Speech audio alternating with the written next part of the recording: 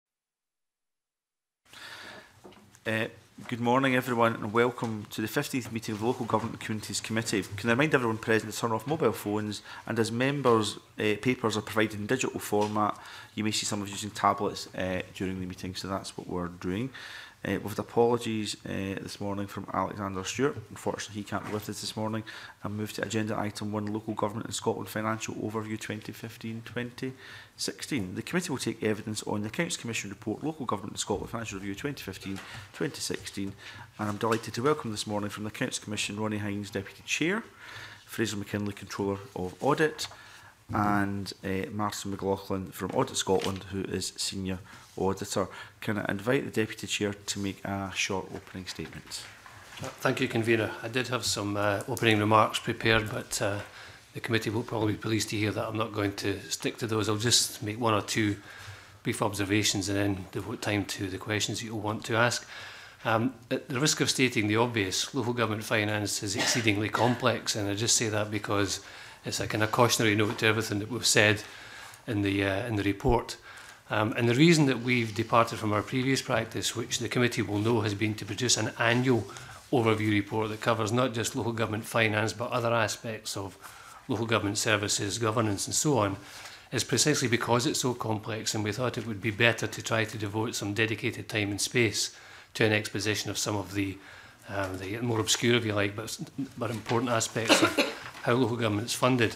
And that's why we produce this report. And the timing is no accident either. And we think at this time of the year, the value of a piece of work like that that tries to shed some light on some of these issues in the context of the annual debate about how local government is funded and how the money is spent would be of greater use to the public and to the committee and other interested parties.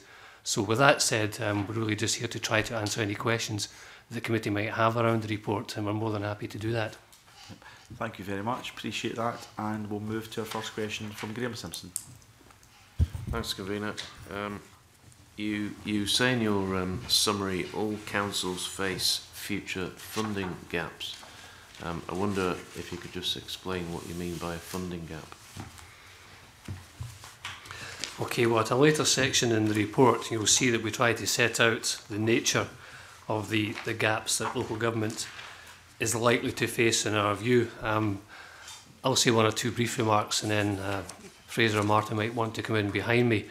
Um, clearly, um, as auditors, um, there's a limit to how much crystal ball gazing uh, we can really undertake. But what we're doing here is making some assumptions, partly based on what we've seen in the past, but also based on, on current trends as to what is likely to happen in local government funding over the next two to three year period.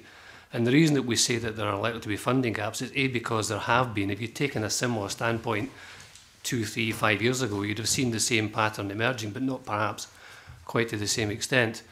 Um, and I would caution that the expression funding gaps might be interpreted by some as meaning there's some kind of black hole in local government finance. That's not what we're saying. What we're saying is that at this point in time, for councils looking to a two, three year horizon, um, they will not in every case have managed to anticipate how they will square off the budget as they have to do under statute. Um, reconciling on the one hand the pressures that they have for service delivery and demand for services, and on the other hand, a likely reduction in the funding. So we're using estimates and assumptions, as the report makes clear, to try to get a picture of that. And the main point that we make there is that um, even if nothing else were done, um, there's generally speaking a good cover for the first couple of years anyway in terms of the reserves. But we obviously don't think that use of reserves is a sustainable way of closing off these gaps and reconciling the difference between the expenditure requirements and the funding on the other. Um, but in every case in recent years, when that's been the case, local government has then gone back to the drawing board, they've come up with further options for savings, and we fully anticipate that's what will happen in the next few years. It's just that at this point, we can't identify what those savings would be in every case.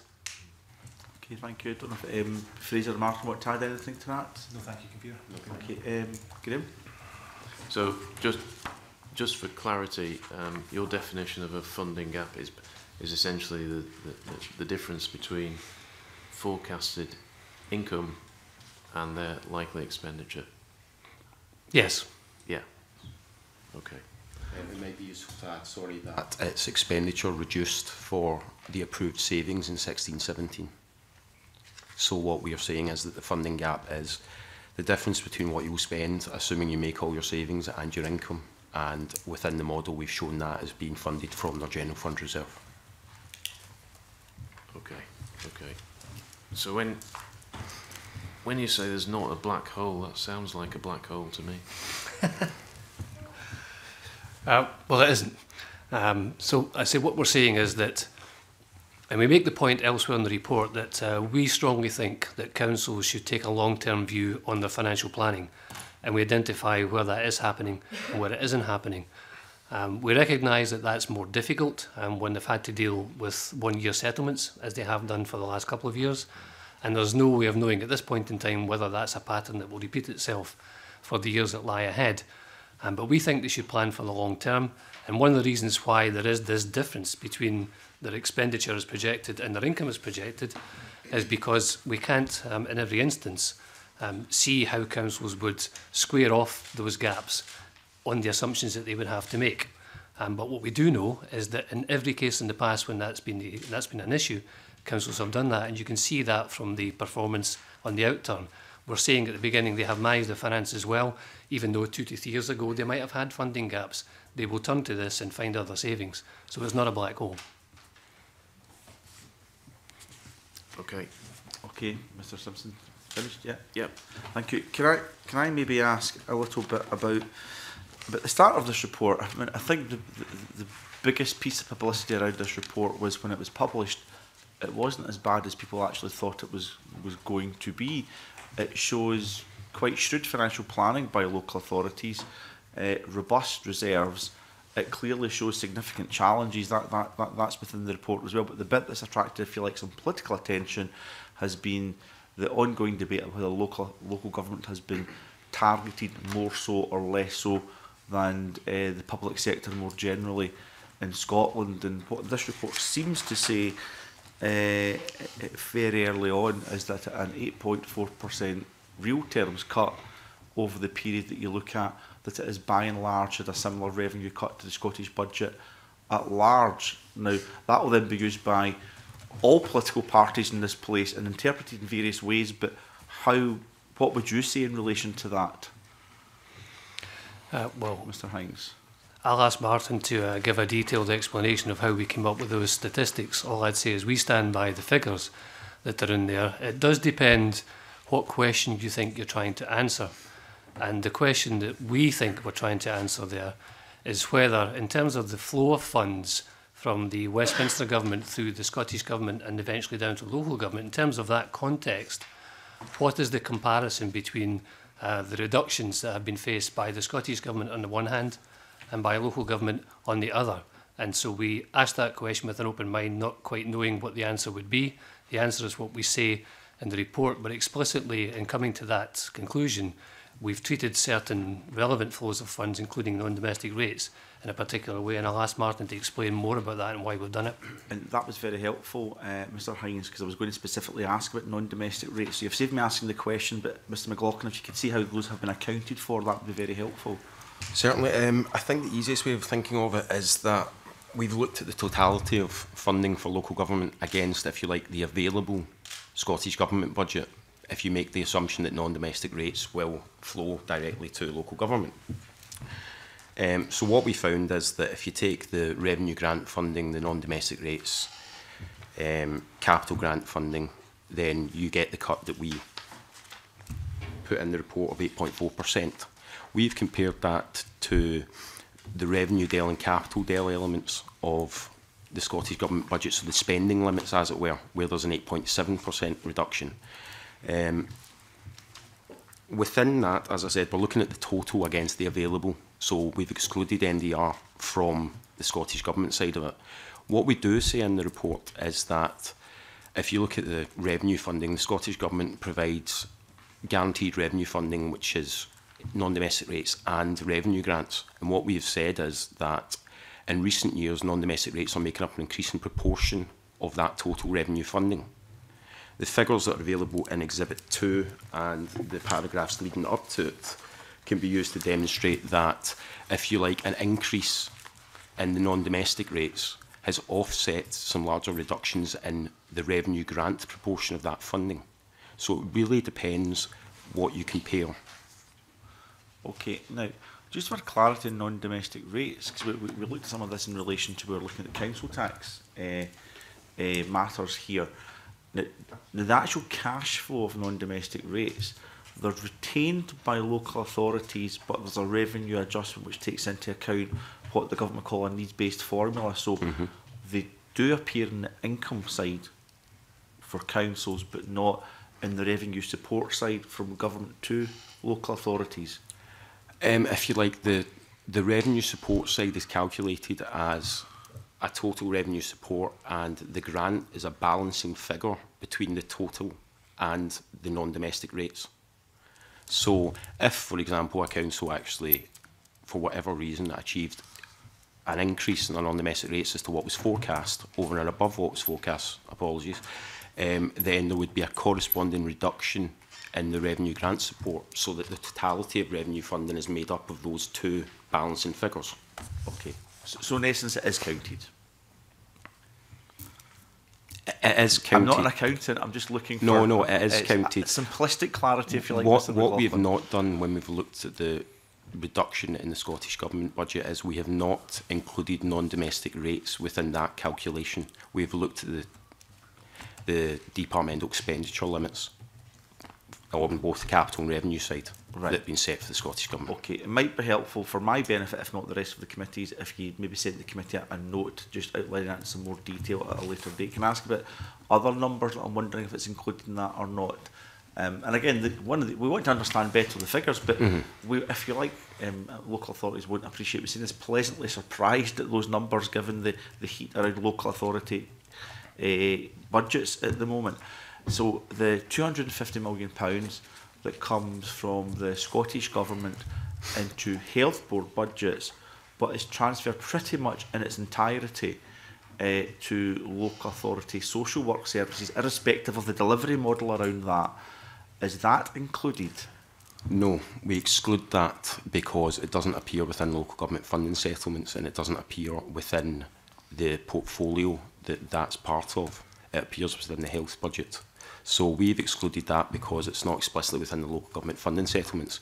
Where you will see it is you will see it recognised within council's accounts as a source of income.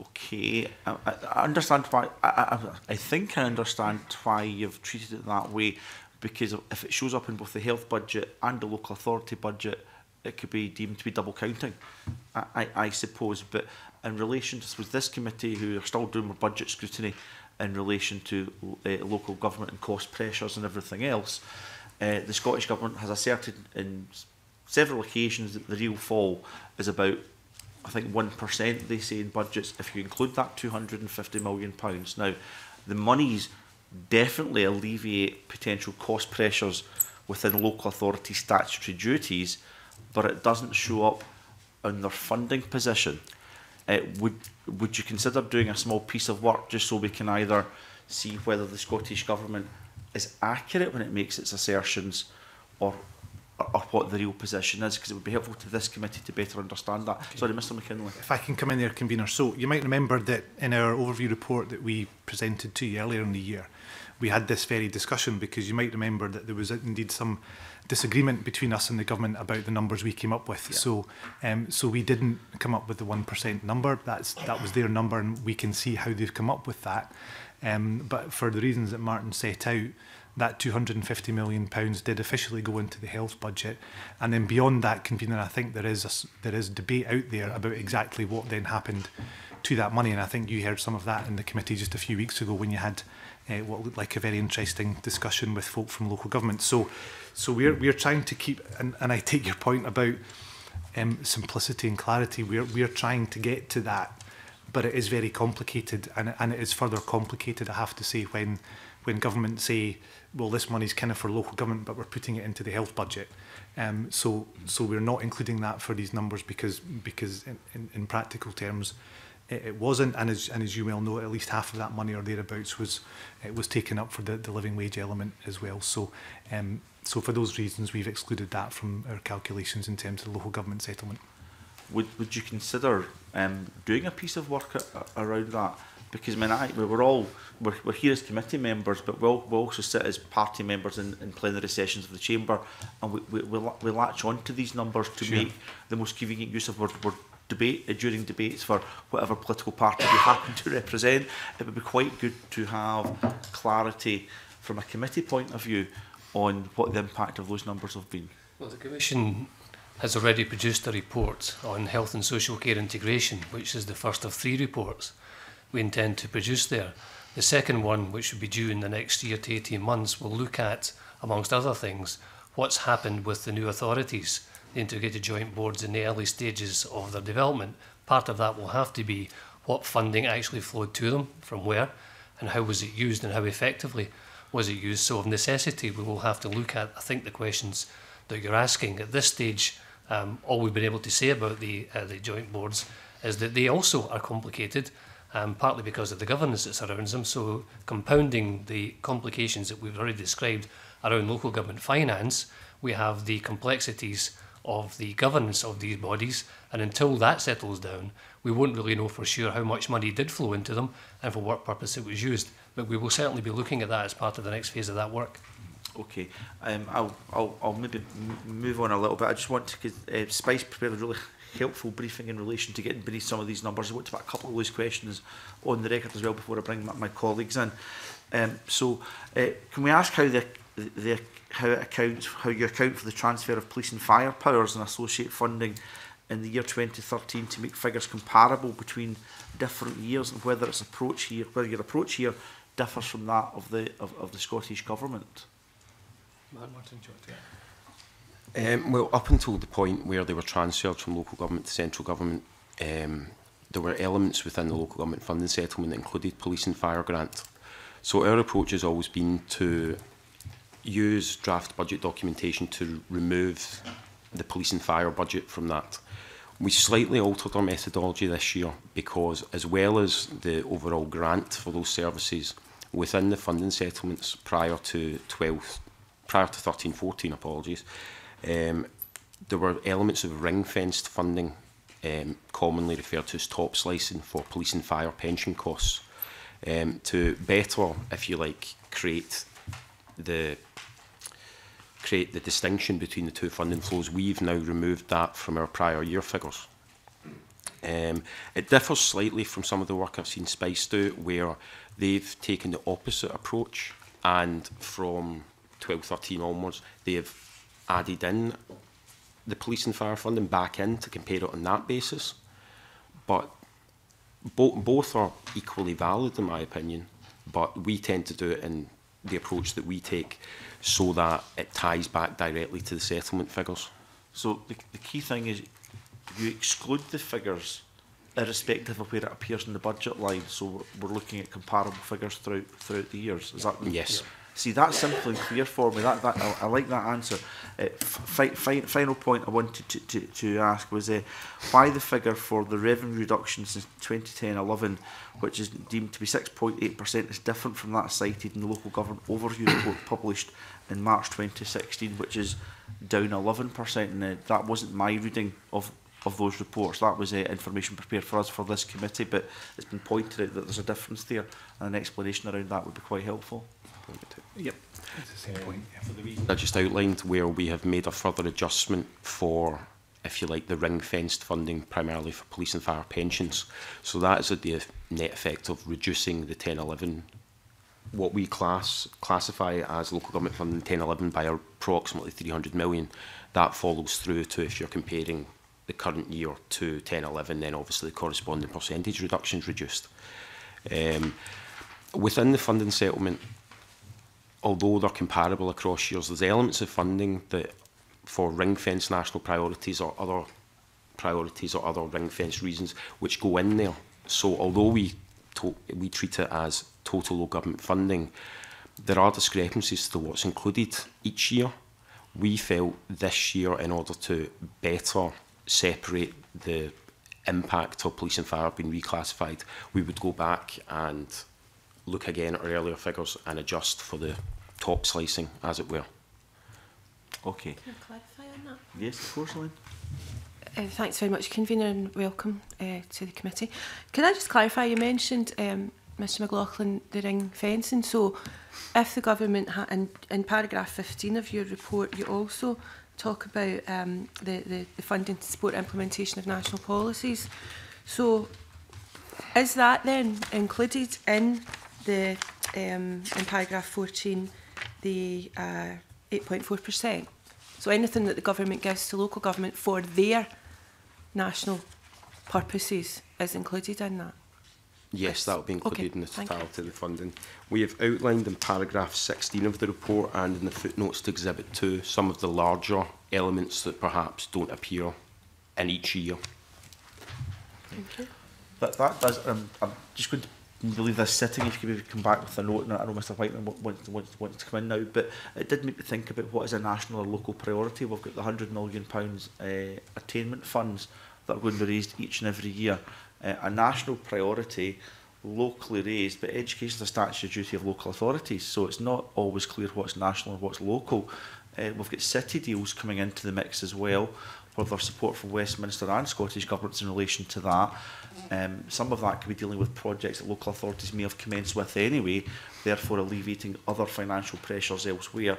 And it's just that appeal again that it's becomingly it's becoming overly complicated to actually look at the financial position of local authorities and governments by definition tries to make it look as strong as possible for local authorities and local authorities by definition tries to make it look as bleak and this committee wants to actually look at the specific figures as best we can and you guys are best placed to to, to do that job so please don't answer Mr McKinley please do answer if you want but some information in writing would be helpful also, Mr. Um, McKinley. Just very briefly, convener, just to say we absolutely agree with that, and and what what we and the, one of the reasons we wanted to do this report was to try to bring some clarity to it. I think what we'll be doing um, now that this report's out and in the early months of next year is gathering people together. I think we need to have a wider conversation about how best to present this stuff because Spice do it a bit differently, we do it a bit differently well-respected organisations like the Fraser of Allender are, are producing stuff as well. And in every report, you find slightly different numbers.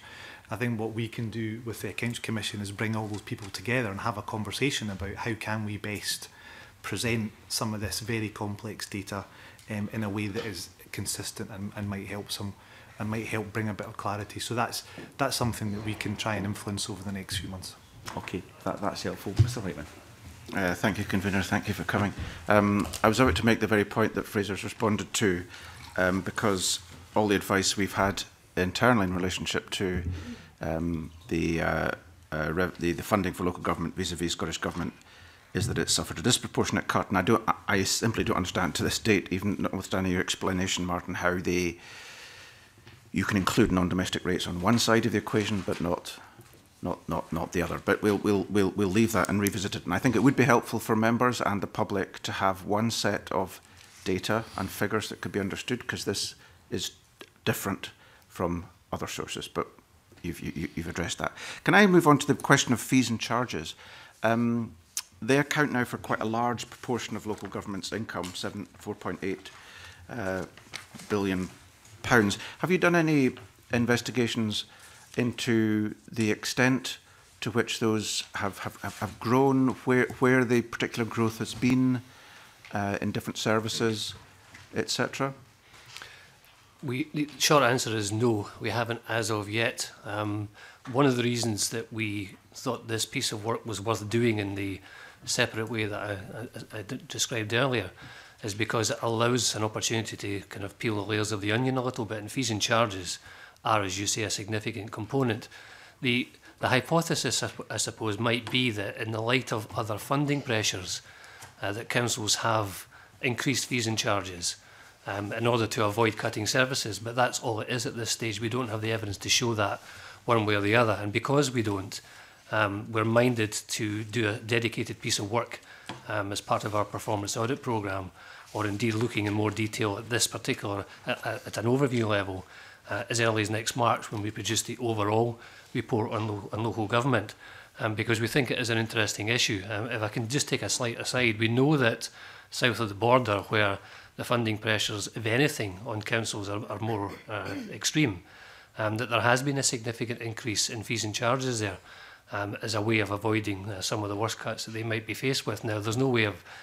saying at this stage whether that's happening to any extent, north of the border, but we think it's an interesting area to look at. Um, and we do know that our sister organisation in Wales has had a detailed look at how fees and charges in local government there have been treated, and there are very many interesting questions, not just the level of increase if there's been one, but actually the policies, the strategies, and so on that inform the fees and charges. So we think that's an area worthy of investigation. Um, but at this stage, all we can tell you is what's, what we say in the report here, namely that they are a, a growing component a significant component, but we don't have a breakdown.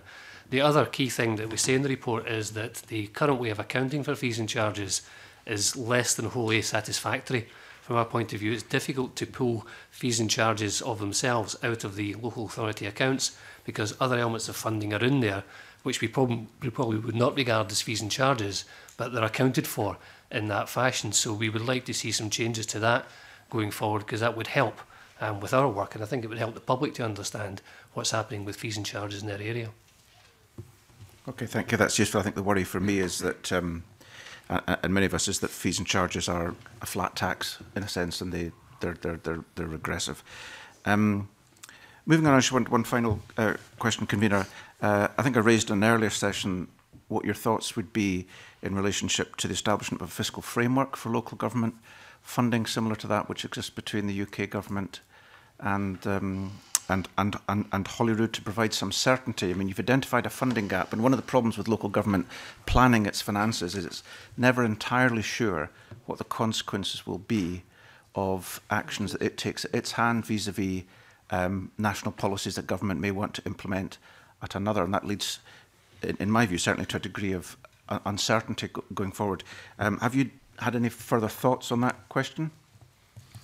Um, so I think, like we said last time, Mr. Whiteman, clearly it's for Scottish Government and local government to decide whether it's a, a, a, a, version of a fiscal framework. I think what we would say is that anything that helps clarity and the ability to long-term plan is a good thing. Um, so whether that's a framework or, or a set of assumptions that could be set out or what that is, um, I, I think should be up for debate. But certainly anything that helps um, in this instance councils, although I have to say we see the same thing about health boards and other parts of our work too. Anything that helps that longer term and more strategic financial planning has to be a good thing because um, while we absolutely recognise the challenge of doing it in a world where we're having annual settlements, if anything, we think it makes it even more important that councils are, are able to plan for the medium and long term. So I think that's where we, that's where we get to. Thank you. Kate okay, Elaine's there. Much convener, can we go back to fees and charges for a moment, please? Um, eh, the overall report seems to indicate, and I think you said at the, the beginning, Mr Hines, that the state of financial health of councils is perhaps not as dire as might have been um, thought previously. However, I wonder if you if you're going to be looking into fees and charges, is is that um, perhaps due to councils' managing cuts. So looking at things like the loss of staff, and if you lose staff, obviously you have big costs at the beginning. You may save further down the line, but if you're losing staff, then you're losing people are losing their services because a big part of what local government does is provide its services through the people that it employs. So would that be part of this? Is it something that you would be looking at? As part of a review into fees and charges? As um, part of it, yes, and taking that across the whole state of council finances, if you like, because I presume it has to fit in with that. If you're reviewing fees and charges, you would be fitting in as part of that whole picture. Um, well, we haven't yet sat down and specified the piece of work that I described earlier, um, so I couldn't say for sure whether we would include um, workforce issues as part of it or not. What I would say is that they're both quite significant and largely distinct elements of what councils have to do. Um, just to set their budget every year, but also to address the kind of reductions that they've had to make in recent years.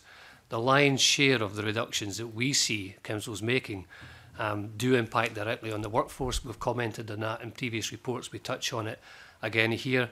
And our line on that, if you like, is that we understand fully why that has to happen. Over 60% of the costs of local government are the costs of paying their staff. So there's no way of making these savings without um, if you like, going to staff reductions. But what we would like to see accompany that is a more consistent approach to what we call workforce planning. And the concern might be um, that if, if there isn't that consistent approach to workforce planning, which is a kind of parallel to what Fraser was saying about financial planning, taking a long-term view, that you find yourself in a situation where the way that you now have to deliver services because of the transformation programs and the changes that you've had to make to address the funding, the way that you have to work might not fit your workforce you might end up with square pegs and round holes if you like. So taking a long-term view, planning for scenarios and adjusting your workforce down the way because that's the way funding is going is all very well, but you want to make sure that you're left with a workforce that's fit for purpose. Now, to the extent that that touches on fees and charges, I would agree with you. Um, but I think they're quite a separate sphere of the budget process, and we probably want to focus on those because they raise interesting questions in their own right. Well, if I could go back to the fees and charges briefly then, convener, and some of the questions that they might raise. Would you envisage looking at then the, the change in nature of local government around that, if you like, so that we've moved away perhaps from the universal approach of local government whereby you, you, you take your, your grant from government, you would draw in funding as you desire through your, your tax elements, and then you would be able to provide services universally But now, if we look at fees and charges, what, what, we perhaps find is, and take an example of community alarms, that certain elements of the, the population are now paying rather than it being a universal approach or perhaps burial charges, anything of that nature. Is that something that you would be considering as part of that report? Absolutely. Um, I think if we do it, we will want to look across the board at fees and charges because it covers a multitude of areas and they're all very different. You've already given a couple of examples of that. So we would be interested in a range of questions, and I won't detain you with uh, covering all of those, but one would be the policy, or policies plural, that the councils are employing there, because you could take one approach which says needs must, we have to avoid the worst of the savings that are in front of us, um, so we will just increase fees across the board by the rate of inflation or some other figure, which is a valid approach, but I think we would then ask questions about whether that sufficiently respects the differences between charges for one thing and fees for another. You could take a different approach, which would be far more forensic, and look at the different fees and charges in their own right and come up with individual policies around those. Or you could have different points on that spectrum. So those are the kind of questions we'd be interested in. And as I say, at this point, it's a bit of a gleam in our eye.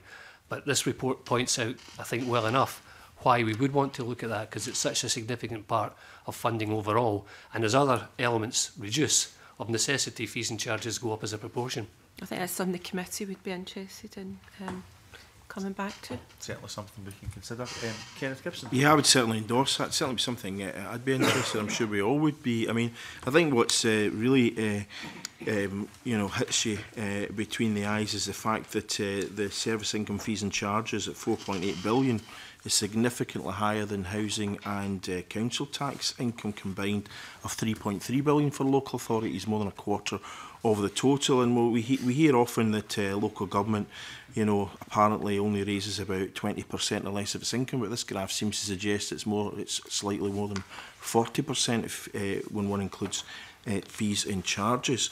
But the, the question uh, to move on from that was just about something else that you said, Mr. Hines. You talked about the um, uh, uh, um, in response to Elaine about uncertainty going forward, and uh, and in, and in terms of paragraph seventy. Uh, 2 to 74, he emphasised the importance of good financial planning and management are required to ensure the impact of spending decisions is fully understood. And you say it's imperative that they, that they have these long-term financial strategies, and the absence of indicative funding should not prevent councils projecting future income and spending. But you go on to point out the three councils, East Renfrewshire, Glasgow City Council and Highland do not have a financial strategy covering the medium or long term. What's the potential impact of not having that financial strategy in place? Um, well, if you haven't looked far enough into the future to see what situation you might be faced with against the expectation or the assumption um, that you have to make about your funding and the demand for your services, then the risk, I think, is that when you come to the annual budget setting exercise, which is a highly pressured um, event, as, as MSPs will no doubt appreciate, that you might not make the optimal decisions, mm -hmm. or you might make decisions which a year later you would regret or seek to amend because of events that have transpired. Now, we, we can't say that we've got evidence on an individual council basis of that kind of thing happening. It just seems to us to be a primary, prima facie risk. And we also think, and that's what's um, said in that section of the report, that the longer term financial plans or strategies ideally should be aligned with a bigger plan or strategy for the council. Now, councils have those plans and strategies. They have them for the council itself. They have them as part of their membership of community planning. So, if you like, that bigger picture of the vision and the strategies is there. But what we find is that they're not always aligned or joined with the financial plans. Sometimes they're out of sync um, because they've been produced at different times and they expire at different times. Sometimes the connections that could be made there aren't made there because they're treated as separate exercises. And that also seems to us to compound the risk that the savings that you have to make on an annual exercise through the budget and um, will be the wrong ones or not the best ones because you haven't looked at them in the context of a financial plan that clearly marries up with your overall strategy. So those are the kinds of risks. And I wouldn't single out those three councils and say that they are more at risk in that regard, but we do think um, that it's fair to point out that some councils are able to look beyond the one-year horizon, and there's no reason, therefore, why all can't do it. It seemed to me, given what you're saying, that these three local authorities would be at greater risk. I mean, surely if there's no financial planning, as you've indicated, then that could indeed mean greater pain than would otherwise be the case. It could mean you know, you find yourself with a, a mismatch between the staff required and the resources available uh, to pay them and indeed the service demands that are put on them. So surely we have to do more to encourage all local authorities to take forward medium and long-term financial planning. I read, and that's very much the message that we've been communicating in this report and some of its predecessors as well. Okay, thank you. Okay, can I maybe just mop up a couple of things that I wanted to ask about before we cl close this session? Uh, within the report, there you talk about um, planned spending and underspends or overspends across various services within local authorities. One of the, the the reason I'm interested in that is we, we, I asked a similar question during budget scrutiny, um, and it was in relation to a reported un- a significant 160 million pound reported underspend in relation to uh, nursery provision uh, for monies provided to local authorities that the government says hadn't been spent on that purpose. Now, I think it's fair to say one or two local authority representatives got a little bit prickly when I was asking about that, but the real reason for asking about it wasn't to say why haven't you spent that money. It was more the dynamic about, you know, if you're given monies for one particular function at a local authority level, if you can do that efficiently, underspend on it and transfer that from one service to another, that is a good use of resources. I wouldn't be quibbling with that at all, I have to say. So, in ter- how should we read statistics on underspends or overspends within this report, or is there a piece of work having to be done to actually follow the public pound through from, if you like, ring fenced or otherwise uh, revenue support from Scottish Government? Look at the outturn report at a local level, and it seems to me to be if you don't hit it on the nose, you might be worried that you'll get less money next time So therefore you hit it on the nose and that doesn't really encourage efficiencies necessarily in delivering the system. So any comments to make on underspends at a departmental level from local authorities? Uh, yeah, thanks, convener. I think there's two slightly different things at play there. One is, and and and this would require a specific piece of work, I think, where um, money that some of the, the, the amounts of money we've referred to earlier that is given from Scottish government to local government for specific purposes, and the extent to which that is then spent on that specific purpose and the extent to which that over or underspent is one thing. I think what this report focuses mainly on is, if you like, the, the more the more general overspend and underspend uh, position. And, and if it be helpful to the committee, we can we can write to you with a bit more detail about some of the individual service areas that are obviously made make up uh, the likes of um, Exhibit 5, where we talk about the overall underspends and overspends it's a very complex picture and there are some patterns but there are also there is also enormous variation across the country depending on which council you're in. I suppose my, our, our general observation um, is that um, the nature of the underspend or overspend is as, is as important as the size of it. And for us, the thing that we are most interested in is the extent to which it's planned or unplanned. So if at the end of the year you suddenly discover that you've underspent your budget by 10%, we don't think that's a terribly good thing um, if that wasn't the plan, because presumably that was money that had been earmarked to be spent on something. Equally, at the last minute, if you discover you're going to be overspent, that's not great either. If you're planning to do those things as part of a longer term strategy, then that's quite a different set of circumstances. So, so you, you kind of need to get into a more qualitative assessment of the nature of those. I think what we're trying to do here was just give a sense of where councils are overall uh, in terms of living within their means. Mm. I think I think that's very helpful. I'm sure uh, Mr. Gibson will also concur from his time chairing the finance committee uh, uh, as, as legislation goes through the parliament that that that that, that tussle or negotiation between uh, COSLA and Scottish government over what should or should be in a financial memorandum, what those numbers should look like. So we're at the Finance Committee, the Local Government Communities Committees. I'm quite interested to know actually what happens then in practice, year two, year three, and any work around that I think sure. would be would, would be quite helpful. Another thing I wanted to kind of mop up was actually inspired by Deputy Convener's question in relation to staffing. Uh, I met with uh, striking workers uh, from Glasgow City Council's ICT team uh, in relation to a dispute over outsourcing and moving from employment from Glasgow City Council to uh, a, a private company. I make no comment on the dispute, but the point they were making is they would no longer be employed by Glasgow City Council if the plans go ahead would that then show up on figures in relation to staffing cuts? Because they would still be employed. They would say potentially with weaker terms and conditions, and thereon, therein hangs the dispute.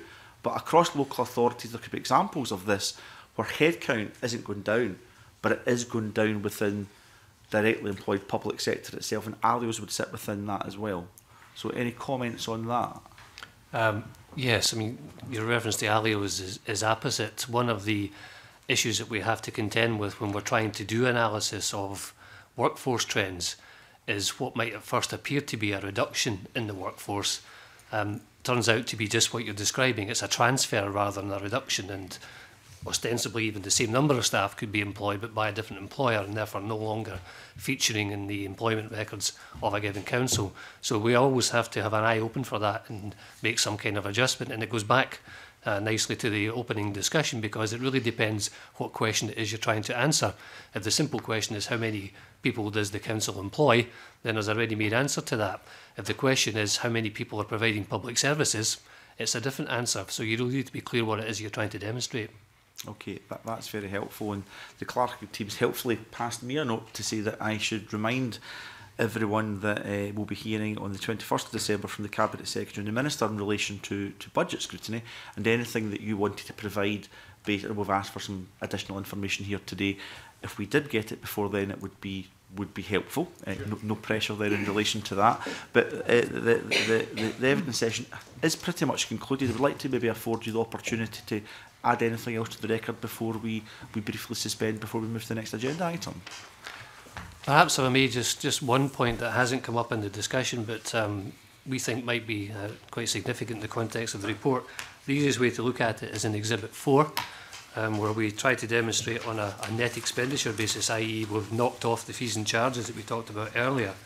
But we try and show a trend there of the impact of the reduction in funding, uh, or spending rather, in this case it's expenditure, over the five-year period. And the, the simple point that I would make is that um, as we said earlier, there's a debate about how much of the, the funding available to Scottish Government is then being dedicated to local government. When you get past that stage into local government, there's a debate about how best to spend that sum of money, whatever it is, including things like your council tax. And clearly priorities come into that just as they do at the national level. So what this is really showing is that in a very rough and ready sense, there's priority being given to the, the preservation of some level of expenditure for both education and social care. You can see that in the diagram. But because overall funding is on a downward trend, the impact of that on other services is commensurately significant. And because they represent a smaller proportion of the spending in the first place, any cut imposed upon them is a bigger issue for them. Now, I wouldn't say more than that at this stage, other than that if that's a five year pattern that we're seeing, and if you tried to anticipate that the next five years might look something like that, it emphasises the point that we keep making about the importance of scenario and long-term planning. I think it would be better to get into that with one's eyes open to see how things might look for transportation or environmental services or leisure and cultural services at the end of that five-year period rather than to go through it and look back and say, hmm, this is an interesting place that we find ourselves. Okay, that, that is it. Well, I, I, I think, yes, I think let's... Uh, apologies to our witnesses for the next evidence session who will be waiting, but I think it's important. You raise an important point. Uh, uh, uh you, you want to draw it to, to, to the committee's attention. I think it's reasonable to ask a, a, a brief, hopefully, follow-up question in relation to that, yeah? Well, it was, but it was also about something that hadn't been mentioned either, which affects that, I would imagine, and that, that was the, the, the debt. Um, we haven't really discussed that in any depth at all, and you did, you've mentioned um, the, you've mentioned PFI and NPD in the same sentences, so I just wonder how, how they actually do fit together. But one thing I specifically wondered about was, and I have to declare an interest as a member of Unite the Union, that they have been talking about the historic debt and how that affects local government finance. I wondered if you just had any sort of opinion about that at all. Um, so the question is really about the, the, the debt. And well, and the, how that squeezes the, yeah. once we get to local government to your, your exhibit four. Yeah. How that then squeezes the okay. services. Uh, I'll take the second part, if you like, in a last phase to handle the wider question about the uh, the impact of indebtedness. So you're absolutely right. Um, if you're having to look at budget reductions, then your room for manoeuvre is a key consideration. And on the face of it, there's less room for manoeuvre. It's not to say there's none, but there's less for things that look like fixed costs, such as repayment of debt and the interest charges that go with them. So we do have an exhibit in the report that shows the kind of impact of that. And that would be a further squeeze, if you like, on those services that I've described earlier as being afforded relatively less protection, if I can put it in those terms. So you're absolutely right about that. But the wider question about um, the indebtedness itself and the affordability of the repayments, I'll, ha I'll ask Fraser to have a go at that. Nothing much to add, um, Ronnie, I don't think, other than to say the Commission have asked us to have a look at those issues specifically as part okay. of the, the forward work programme probably getting into uh, eh, 2018 by the time we, we're, we're looking to publish that report, but we recognise that um, the kind of historical debt that PFI, PPP and its predecessors um, have established is, a, is an increasingly important part of this story for exactly the reasons that that you and Ronnie have just described. So we are going to be taking a look at that specifically. Thank you. Okay, I, I think it's helpful, and I, I think Deputy Convener, I, I think part of the debt that it's a struggle for local authorities might even be pre-dev, pre pre-devolution uh, public debts that, sure. that, that from from the, the Treasury actually, which might be at significant rates of interest compared to the current interest rates. I think that might reflect some of the Unite campaign, um, which you may or may not um, be aware of. might be quite good to, to have a look at it. I didn't have to declare an interest, but I have met with them, and the, the, the, the, so I wanted to um, re reinforce the point uh, our deputy convener was making. Thank you very much for, for your time this morning. We found that very, very helpful and look forward to continuing this relationship going forward. And we suspend briefly before we move to the next agenda item. Thank you. Bye.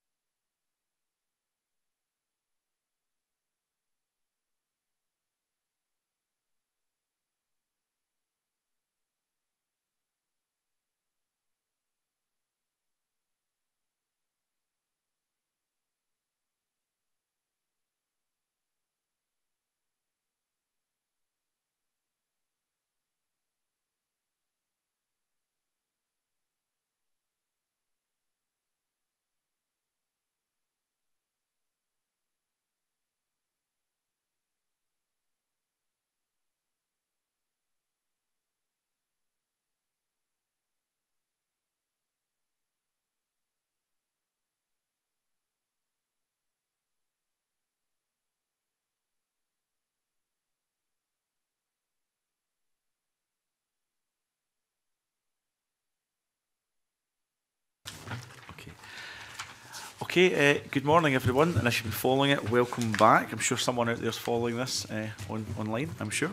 Um, we move to agenda item two, uh, which is implications for Scottish local government of the United Kingdom leaving the European Union, and the committee is holding an evidence session on the implications for Scottish local government of the United Kingdom leaving the European Union. Today's session. Um, it says here it will take place in a roundtable format. No, it won't. Uh, so we won't do that. But we've got a, a number of witnesses attending. First of all, can I put in the apology of David Iser, Research Associate, Fraser Valdon Institute, University of Strathclyde, who was hoping to come along today but is unable to make it. But I can welcome Councillor David O'Neill, President of COSLA. Uh, good morning, Jim Savage, Savage Solis, Scotland and Chief Executive Aberdeenshire Council, Helen Martin, Assistant Secretary, Scottish Trade Union Congress, Professor James Mitchell, Co-Director, Academy of Government, University of Edinburgh, and Stuart Black, Highlands and Islands European Partnership and Director of Development Infrastructure, Highland Council. Thank you everyone for coming along this morning for what will be a, a, a short inquiry in, into what the implications may be uh, in relation to Brexit for Scottish uh, and indeed UK local government. Can I maybe um, open up just by looking at one of the most uh, striking aspects uh, of of funding uh, towards local government is, as you'd expect, politicians of, always quite often drawn to the public pound and they, they want to see what the financial position is. And, and, and I see that in relation to European structural funds that I do understand have been guaranteed by the UK government anything committed. Mm up until 2020 will be will be met by them. That's my understanding. Someone might want to clarify that, but that's our understanding. But the uh, local authorities are roughly delivering about 30% of of those funds, and that for the time period 2014 uh, through to 2020, that would be roughly 30%, depending on what is or isn't committed, of about 900 million pounds. So a, a huge chunk of cash trickling through uh, local authorities. And eh, my own local authority, Glasgow City Council, is the, the most significant delivery agent of that. So as a to MSP, I would have concerns for what could happen post-2020, um, but anything around what witnesses consider to be the reassurances and the process pre-2020 would be would be very welcome given the fact there's about 450 million pounds still to be to be allocated in that process, that might be a good starting point, uh, just kind of following the monies and any reassurances or uh, concerns there are for either pre-2020 or what happens after 2020. Uh, eh, Councillor O'Neill? Uh, it's a very good question, especially following the session that, that you've just uh, just had in terms of long-term planning, financial planning for local authorities. The only place where we currently have certainty for funding is European money. Uh, the settlements that we are currently getting for the Scottish Government are uh, on a year-to-year -year basis. You cannot uh, really do uh, serious long-term financial planning. What we have been uh, assured of so far is that the programmes up until 2020 uh, will be funded and if my understanding's right it's uh, what's called plus two. So you have two years after the end of that programme to continue uh, the spend. That's reassuring. What's not reassuring about that is we should be starting the planning for after that right now. We should be in that process, and there is absolutely no certainty uh, for that, and that, that is a problem for us. Okay, that's helpful. Any other witnesses want to pick up on that, that theme in relation to structural funds? Mr Savage reinforce that point, convener, I think that uh, many organisations are already uh, well involved with the uh, schemes and funding arrangements that are already available and inevitably, as uh, Councillor O'Neill has said, we'll be looking forward to the next term and the next programme in terms of a medium-term plan for their businesses and their organisations, their communities. And so that level of uncertainty, even looking forward to two to three, four years' time now, is impacting people's confidence and assurance in terms of being able to plan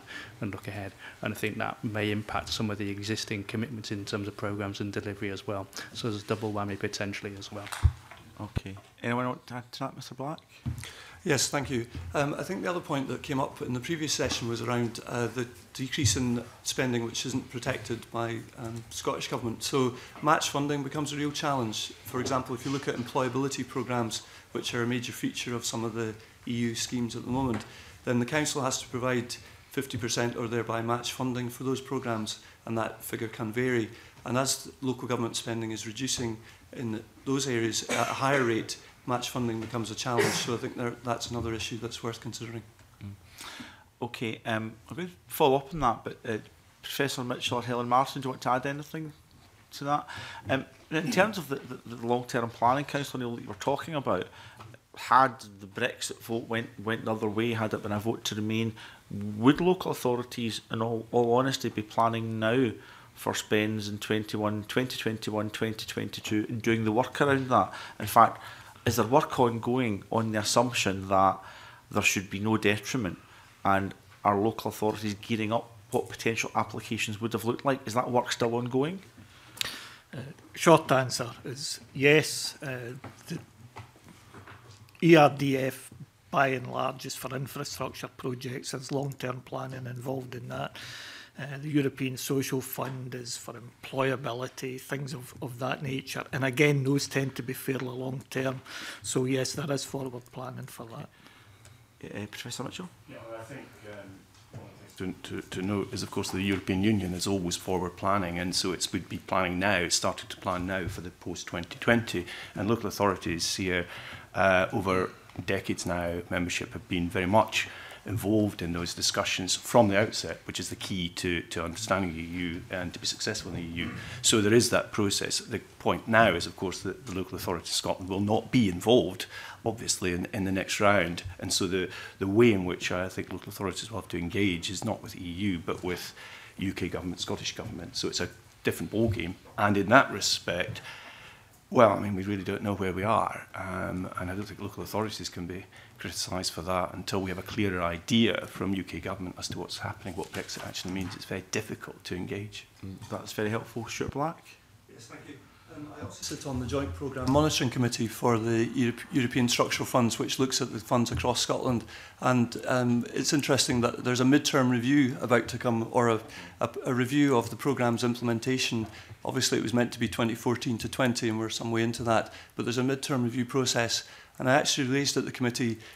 what is being done to look at the post-2020 scenario because it is a really important matter for uh, communities who are used to receiving funding such as LEADER, for example, uh, Community Economic Development Funding, to have some idea of what might come uh, after the, the Brexit um, situation.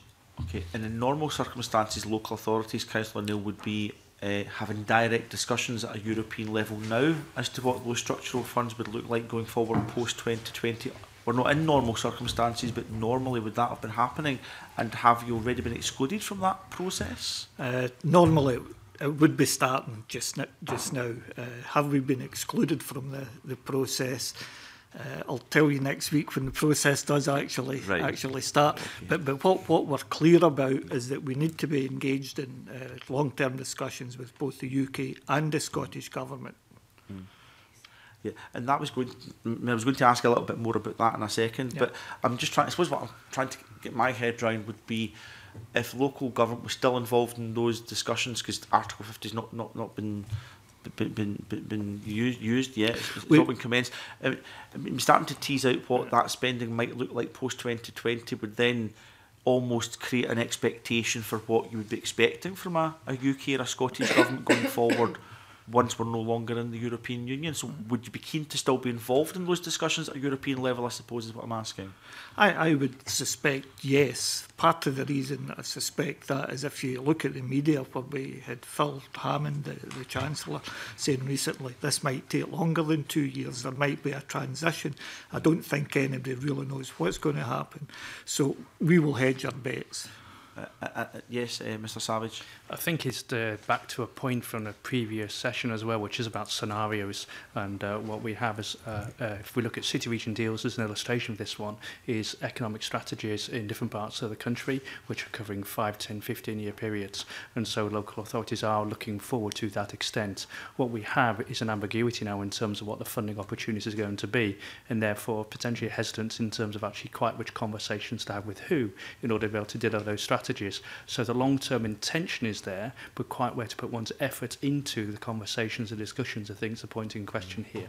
And it could be folly to invest all of your time and effort into one route with that uncertainty you said, uh, convener in terms of quite when and how an exit may happen as well. So it is those different scenarios we are now working through to try to actually work out what's the best route forward to secure long-term funding. Okay, Professor Mitchell?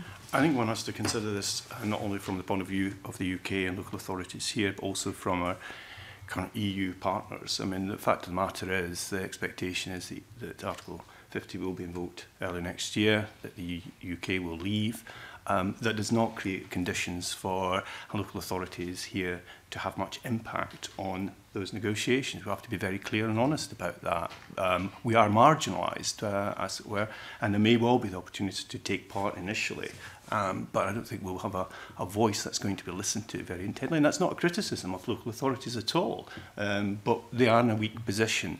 Uh, consider it from the point of view of any other member state. Why would you want to listen to UK local authorities post 2020. Mm.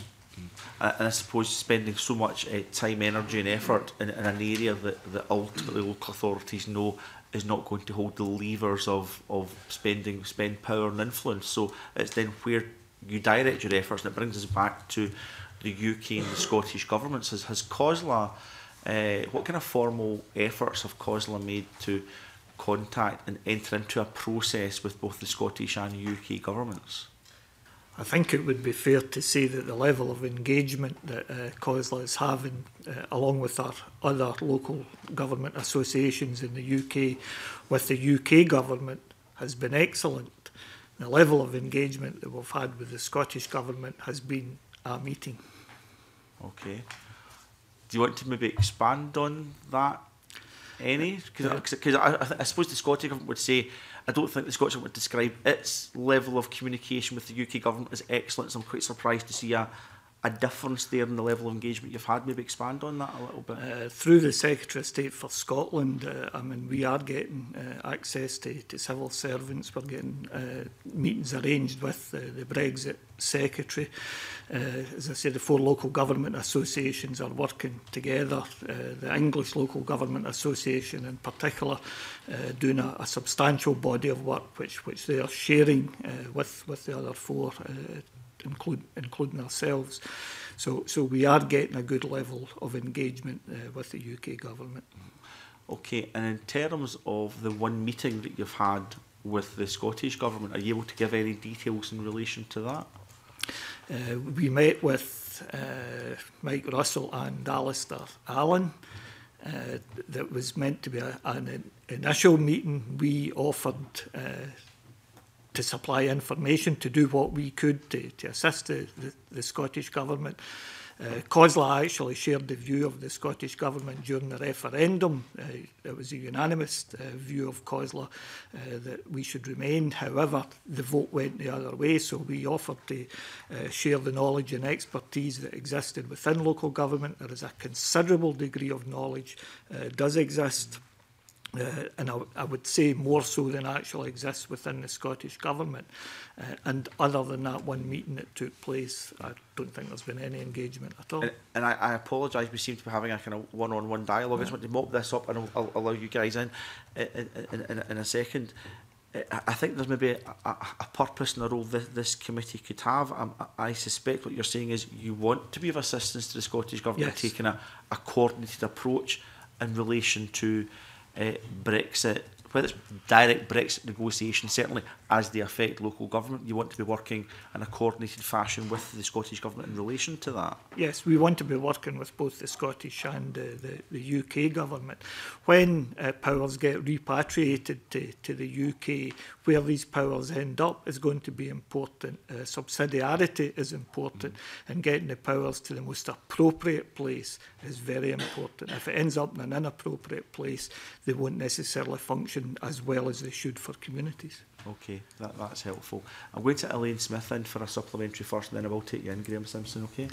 Thanks, Convener. Well, actually, um, I suppose it just goes a wee bit further on what the convener's been exploring with COSLA. In, in section 15 of the COSLA report, you have specifically said that the appropriate mechanisms should be put in place at political and officer level so that local government is embedded in the Scottish Government and UK Government negotiation structures. And you go on to say that the same approach has already been confirmed by the UK Government um, for reserved areas for Scottish local government.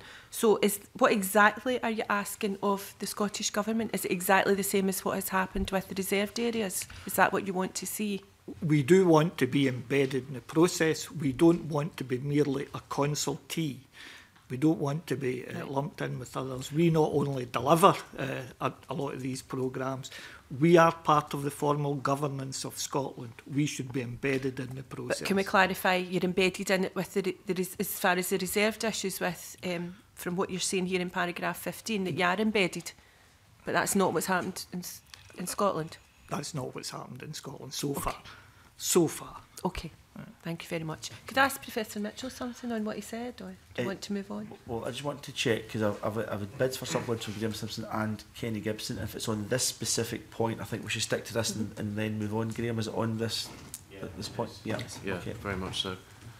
Um, I'm, I'm really interested in what you're saying there, uh, Councillor O'Neill. What have you discussed with the UK government in these various conversations you've had with them? Well, we've talked uh, about the repatriation of powers, we've talked about the continuation of uh, European funding. Uh, we're, we're looking at how uh, how we, we influence changes that are going to take place. I'm an, an example in things that would be getting repatriated, uh, and this is only two examples. State aid, the role that local government is going to play in that, uh, procurement, future procurement, the role that local government and localism is going to be able to, to play, uh, play in that. Uh, we want to be in there at the, the start of this to shape how those processes actually deliver for our communities. Mm. Uh, and we need to be embedded in the process to do that, not just merely a consultee. Right. You've actually mentioned all the areas that I would be hoping to uh, ask you all about. That's um, good. That's good. Um, so Uh, uh, just, just to be clear, um, have you asked the Scottish Government for meetings and been refused meetings? no. no. No, we have not been refused meetings. Okay. So the meeting that you had, the, the idea, came, the, the approach came from them? No, the approach came from us. We offered uh, to meet with and, and assist as we could, but there's been nothing since that. Why, why has there been nothing since? Don't know. But you haven't asked for a meeting. We left it that we were available. Uh, we were offering the knowledge that, that, that we have, uh, and there's, there's not really been any substantive contact uh, since then. I'm sure that the Scottish Government would tell you that they're finding their, their feet, uh, but we're offering to help to find, find their feet. Okay. Can, can I just clarify something? Um, uh, would you like a second meeting quick? as soon as possible to discuss this further? I'd be more than happy to, to meet. okay, so we're really debating ASAP. about who picks up the phone to the other to the other person. So let's uh, and, and we, we'll ask about that as well. I'm from what I'm seeing, it's a case of there's been an initial meeting. I suspect both parties thought there'd be more. They haven't progressed, so we should just make it happen by yeah. that. I mean, not this committee, but Cosler should just seek to have a meeting as soon as possible. And if there's any issues with that, this committee would be very interested in relation to that. I just double check, We keep talking about repatriation, Councillor O'Neill, and, and, and subsidiarity. I, I suppose subsidiarity from what would be my kind of thought, because it's about whether the UK government passes down powers direct to local authorities, then there's powers reserved at a UK level, which they're via subsidiarity giving to a local at a local authority level or whether they pass to the Scottish Parliament and the Scottish Government and they are passed down. I'm just wondering if the type of conversation you're having with the UK Government is slightly odd because we're talking about where power sits within the UK. That's a tripartite discussion between UK Government, Scottish Government and Scottish local authorities. So it seems odd to me that where power over fisheries or agriculture or whatever would sit, the discussions that COSLA are having with the UK government, they would sit in terms of sovereignty with a UK government who would pass them down to local government. Is, is that the ambition of COSLA, or would you rather see them passed down to local government and the sovereignty sit at a Scottish level uh, I, I'm just trying to wonder what, what, the mission is, what the outcome you're seeking is, Councillor Ale, in relation to that. I, I think the term that I used earlier was uh, that it should rest at the most appropriate place. Some of that, no doubt, would be at the UK level. Some would I dislike the word level at uh, the UK sphere, at the Scottish sphere, at the local government sphere. These things are not mutually exclusive. I would suspect that in the fullness of time, uh, all three spheres will, will see some of these powers being uh, devolved or repatriated in, into their, their sphere. Uh, and what's important thereafter is that they don't operate in isolation. We all have to operate in partnership uh, and do it in such a way that we get maximum benefit for our communities. But in all the powers to one single place, I don't think would, would be sensible. Uh, there are some that, that would be appropriate UK, some Scotland, some local government. Uh, we do have the advantage of the four local government associations working together, working jointly, uh, that gives us uh, an into the, the UK government that we, we otherwise would not have, have had. Uh, and that, that's a very useful conduit for us. Okay, that, that's interesting. Professor Mitchell, do you want to add anything? Really, to, I, was, I think the point I was going to make has just been made at the end there, and I was just to reiterate that. I, I, I, I do, with due respect, community, I think that the concept of sovereignty is not terribly helpful in this context, in as much as it implies an ultimate resting place of power. What we have in terms of public policy um, are different spheres engaged in the same uh, policy areas to take the environment, EU, UK government, Scottish government, local authorities, and many other bodies. Mm. And it's a sharing, it's a partnership. And I think that's one of the interesting things about the nature of policy in much of the area, much of the work that's done by the EU, not least because the EU itself is incapable, frankly, of delivering. Local authorities are the delivery agencies and have to be involved.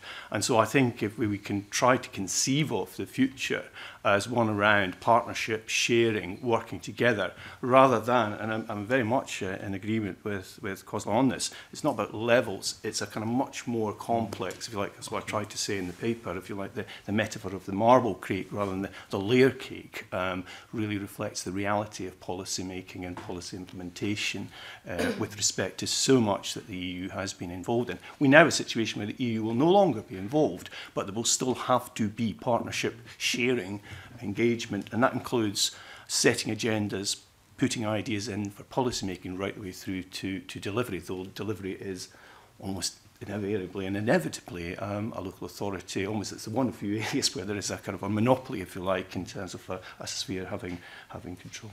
Okay, very helpful. Helen Martin? Um, yeah, I think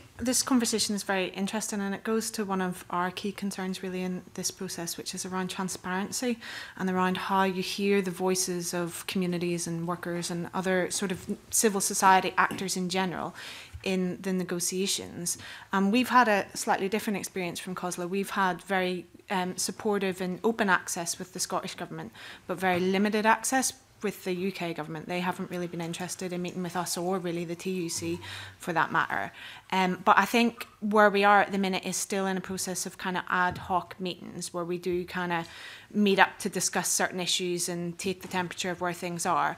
But what we would be interested in going forward is really the creation of more formal structures and a more formal role for civil society to play in the negotiation process. So we would like to see that really at UK level and at Scottish Government level because I think it is very important that we do have a discussion about how society is shaped, where power lies, how we deal with a lot of the, the, very difficult issues that are going to arise um, because of Brexit. And I do think that there needs to be formal processes around that. And I think there needs to be a role for civil society and actors like COSLA and local government within that. Ah,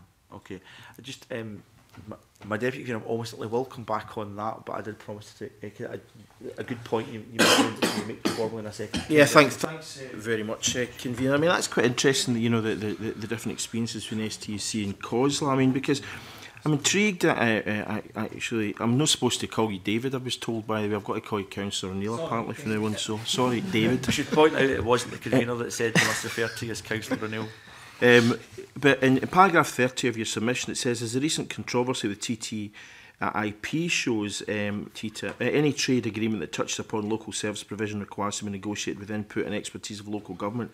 This is not the case at the moment. And then in, previous to that, in paragraph 14, you said one of its key international agreements is a chart of local self-government which the UK and Scottish Parliament's governments are bound to implement but have failed to do so, unlike most European countries. The current negotiations to repatriate powers from the EU thus represent or uh, present an opportunity to finally address this.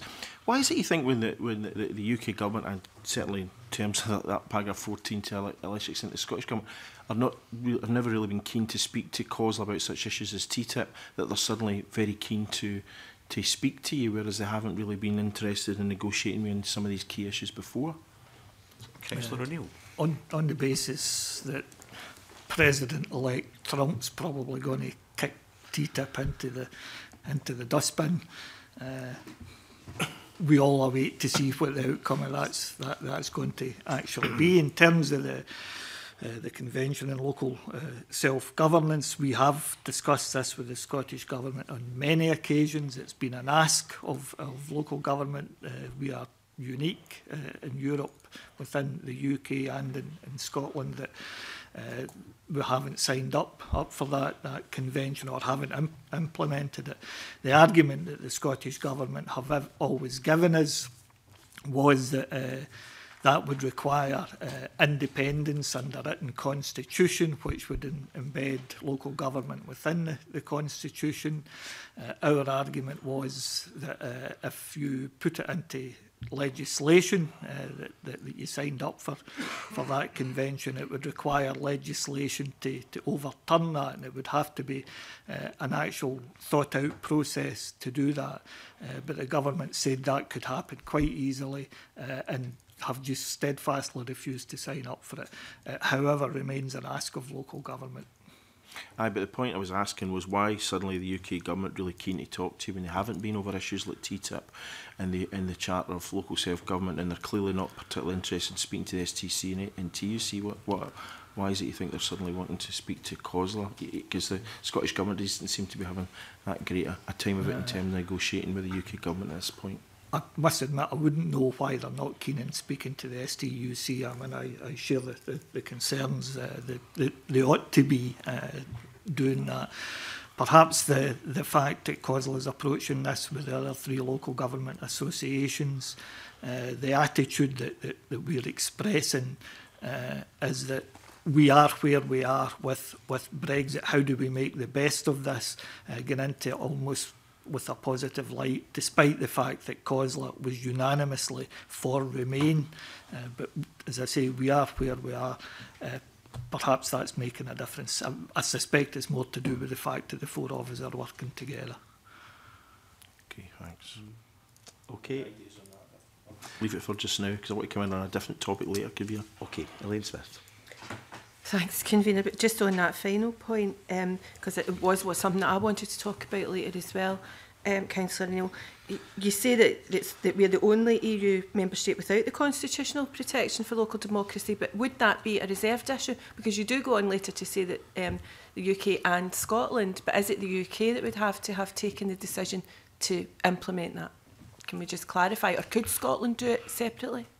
my understanding is that Scotland could do it separately. Okay, thanks. I think I, I, would like both of them to do it. Though. Yeah, but I think it was quite it was important to clarify that because I don't think that was clear in the paper from the discussion. But could I also ask Helen Martin?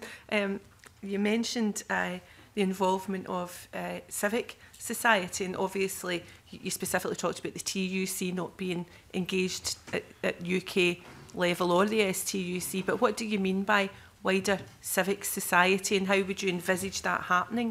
Are you talking about some kind of committee or how would you envisage it? Yeah, well, I, I mean, I don't, I don't pretend I've got a really worked up answer for this, but I do think it's important that when we go through a negotiation process, that it isn't just the UK government sitting talking to um, you know, countries in Europe and having a closed door negotiation when we don't know the direction of travel, we don't know what's likely to happen, we don't know what's going to come out the other side.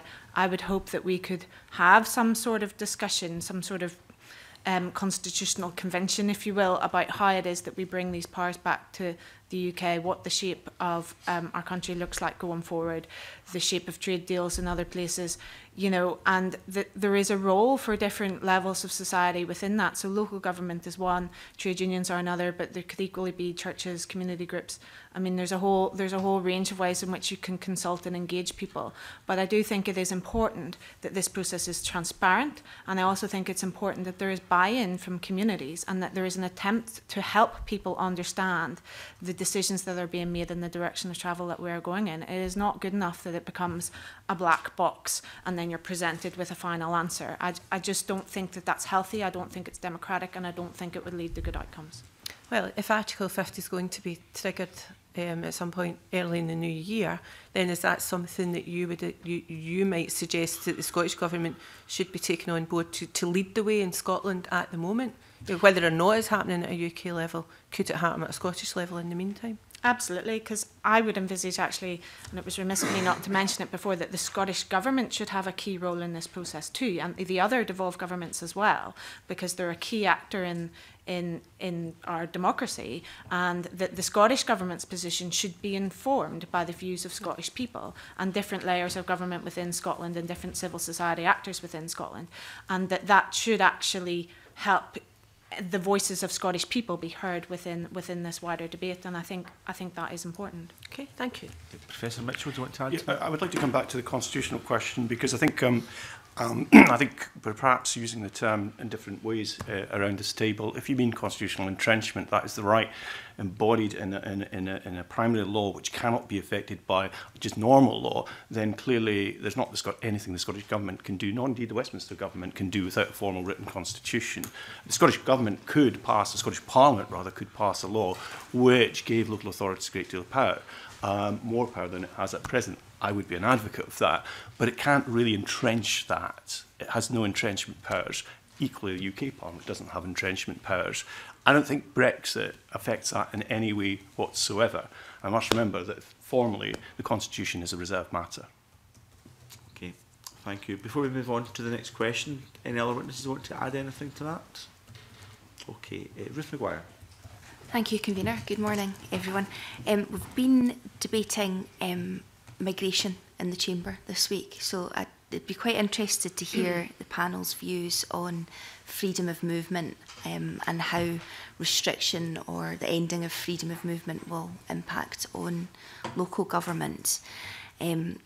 I suppose specifically um, around um, skill shortages and how we might address that. Um, yeah, and, and growing our economy, these, these types of things. Okay, um, Councillor O'Neill. I think there has been a marked uh, difference in, in attitude uh, north and south of the border about about free movement and about growing the population. Uh, anyone who uh, makes use of the hospitality industry will be, be very much aware the number of uh, people from out with the UK that, that, that work in that, within our health services, the number of people uh, from out with the, the UK uh, is, is, is critical. Childcare uh, and an awful lot of, uh, of care workers are people from, from out with the, the, the UK. If we lose the ability uh, to have these people coming into, into Scotland, that is going to be a real big problem for us. Uh, and industry uh, certainly seems to be uh, making that point. Uh, in the, the east of Scotland, uh, the fruit growing areas, uh, they, they rely very heavily and, and people from out uh, with the UK coming in. It would be a real problem for, for the whole Scottish economy and, and the, the wider UK economy if that freedom of movement stops. Okay, thank you. Stuart Black? Yes, I think if you look at um, population statistics for Highlands and Islands, most of the growth has been driven by migration and a lot of that's come from Eastern Europe. Just some figures I've got for you. Around 23% uh, of businesses in the Highlands and Islands area have EU employees, and so non, non-UK employees. Um, if you look at uh, Scotland as a whole in the tourism sector, um, statistics there show that 24% uh, of employees in hotels and 30% in restaurants are migrant workers. So it's a huge impact on the tourism sector, and that, of course, is our biggest industry in um, Highlands and Islands. I think also uh, the care sector is, is another one that's going to be um, impacted and also some of our food and fish processing industries. These are heavily reliant on um, EU nationals, so it does pose a, a number of challenges. There are also very high skilled um, EU migrants working in life sciences businesses such as LifeScan in Inverness, which is uh, an R&D company, and also of course in the NHS. And in my own uh, department in the council, we actually lost a number of EU migrants fo following the referendum result who said that they didn't feel welcome and they, they left. So it is going to have a big impact and it's already having an impact. Okay, thank you. Helen Martin? Uh, Yes, I think this is an area where our members are feeling increasingly anxious. We have um, quite a high number of EU nationals in membership of trade unions, and we're seeing um, more and more requests from those nationals about how they secure their status going forward. Um, so questions about whether they should be applying for citizenship at this point to make sure that they that they can maintain their ability to live and work here. Um, we we, we find that quite disturbing because I think it shows that some of the reassurances that have been given by the Scottish Government in particular are not necessarily um, act, acting as genuine reassurances for, for workers and that kind of uh, insecurity is kind of maintaining within, within the population. I think in terms of local government,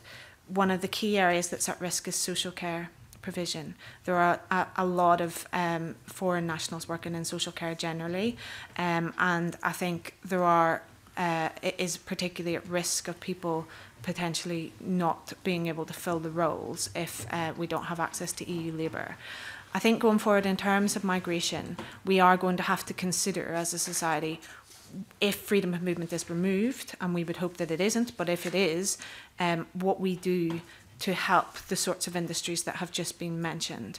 Um, because right now, the points based system offers no option for low skilled migration. And that doesn't seem like a sustainable position going forward, given the needs of certain industries and the fact that it, it is very difficult to fill. Uh, you know, seasonal work in agriculture, for example. Um, I think we would need to have have to reconsider how our immigration works to allow low skilled workers through if we are going to have a complete sensation of um, free movement of people. Okay, I'll take Jim Savage, then Professor Mitchell. Thank you, Convener. I'd e- echo the points my uh, colleagues have made and add two extra points as well. The first one, I think, is to focus on higher education as well and some of the challenges they may face in terms of being able to uh, secure and attract international students and also staff in terms of their long-term plans. And I think some of the concerns they've expressed quite clearly about some of the inhibition and maybe there. I'd also link the point of migration and immigration back through to the uh, discussion on structural funds. So my understanding is that a lot of the economic growth we've had in recent years has been based on migration and migration, not on productivity increases. If we are going to uh, restrict and inhibit the uh, influx of uh, population coming into Scotland, and at the same time there's questions in terms of structural funds which are there to support youth employment, employability, business support, the questioning comes about how we're going to actually support our uh, sort of a, uh, existing workforce and community to be able to increase productivity to increase economic growth as well and it feels as though we could end up actually impacting on two sides of the uh, uh, the agenda which would have a negative economic impact so we really need to choose in terms of actually do we want to sustain and increase migration or do we want to sustain and increase investment into our existing communities to increase their productivity Okay, thank you, Professor Mitchell. I wonder whether we should put the migration issue into its broader context of citizenship rights. EU citizenship has been a developing concept, and that covers a, per, a panoply of, of, of, of rights, um, which includes free, move, freedom of movement, which is vitally important for the reasons that have been articulated, but also access to services. There's another very important point, and that is um, voting rights. EU citizens have right to vote local elections. Will that continue to be the case? So I think it's best to try to broaden this out and to conceive of it in terms of the citizenship rights, is it possible to conceive of um, changes and the loss of some rights that currently exist for citizens while others would be maintained? Some of these decisions are in the gift of this parliament, can be decided by this parliament. Um, some by UK Parliament, but I do think it would be best to, to broaden this out. Um, freedom of movement is, is fundamental, but you can have freedom of movement, but with very limited rights, the kind of notion of gastarbeiter and so on and so forth, which the EU has fought very hard against. I think it would be very worrying if we simply allowed migrant workers to come here, but to have limited citizenship rights. Okay, so do you want to follow Yeah, thank you for those answers. I suppose first off, I want to say this, just beyond sad to hear of people leaving because they don't they don't feel welcome. But um, taking on board what you've said about citizenship rights as well, though, I'd, I'd like to ask um, Councillor O'Neill um, if COSLA are planning that, that you know this is going ahead and involved, what planning have have they done or have you done any work about? I suppose thinking specifically about the care sector where we know there are lots of um, workers from elsewhere working with us, how how those gaps would, might be plugged if, if, if these people left? Uh, there'll be a lot of that work going on at individual local authority uh, level. I mean, what the earlier session was talking about long-term financial planning, long-term workforce planning, uh, but they will be at a relatively early stage with that uh, because like everyone else, we were taken by surprise with the result of the referendum. Maybe the lesson is don't have referendums. We might not get uh, unity in that particular suggestion. so. Councillor O'Neill, but Mr Savage is a I'll skip on the very last point and come back to the on scenarios, if I may. Um, I, I certainly, just to illustrate, I've been active involved in a conversation myself in my authority area in the northeast uh, this week, uh, involving the local authorities, involving the Chamber of Commerce, involving the uh, local college and universities in terms of how we develop clearer pathways to employment uh, uh, from a career point of view and into care and also into uh, sort of uh, uh early years and childcare.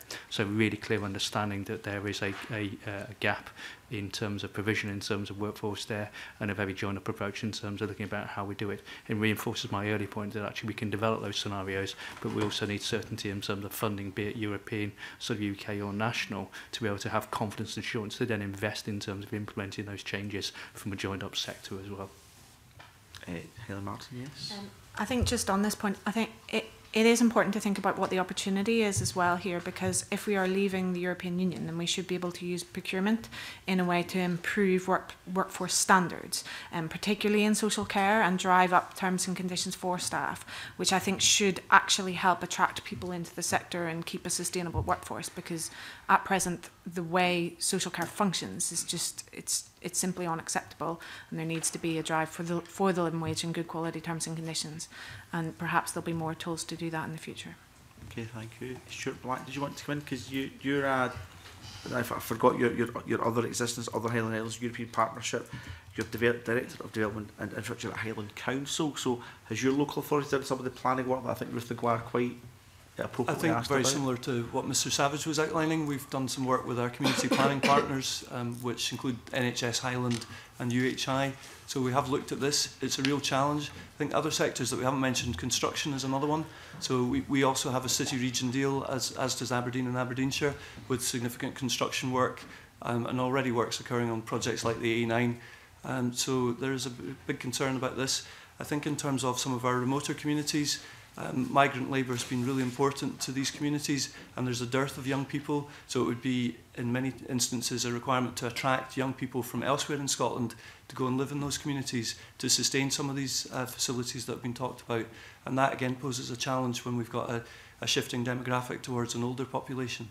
Okay, thank you. Ruth McGuire, do you want to come back on some of that? Uh, eh, no, thank you for those answers. Um, can I just, I'm going to take you in next, Mr Whiteman. Can I just point out that um, I didn't know this, but the clerks have helpfully informed me that the European Committee is taking evidence uh, tomorrow morning on citizenship rights of European citizens within Scotland, looking at it in the round, Professor Mitchell, which I think is something we would, we would all welcome. But I, I'm just also just wondering, Councillor Neil, because the more I hear the discussions going on, the more it seems oh, frustrating would be the most uh, mild way of putting it that there's quite detailed discussions with COSLA and other local authority partners on the UK level with the UK Brexit Minister, but STUC really not so much in the context of citizenship and rights in the Scottish Government, also not so much. Do we have to maybe just kind of reconfigure the debate a little bit. And I, I, I don't I hate the platitudes that of Theresa May about a red, white, and blue Brexit and all that. So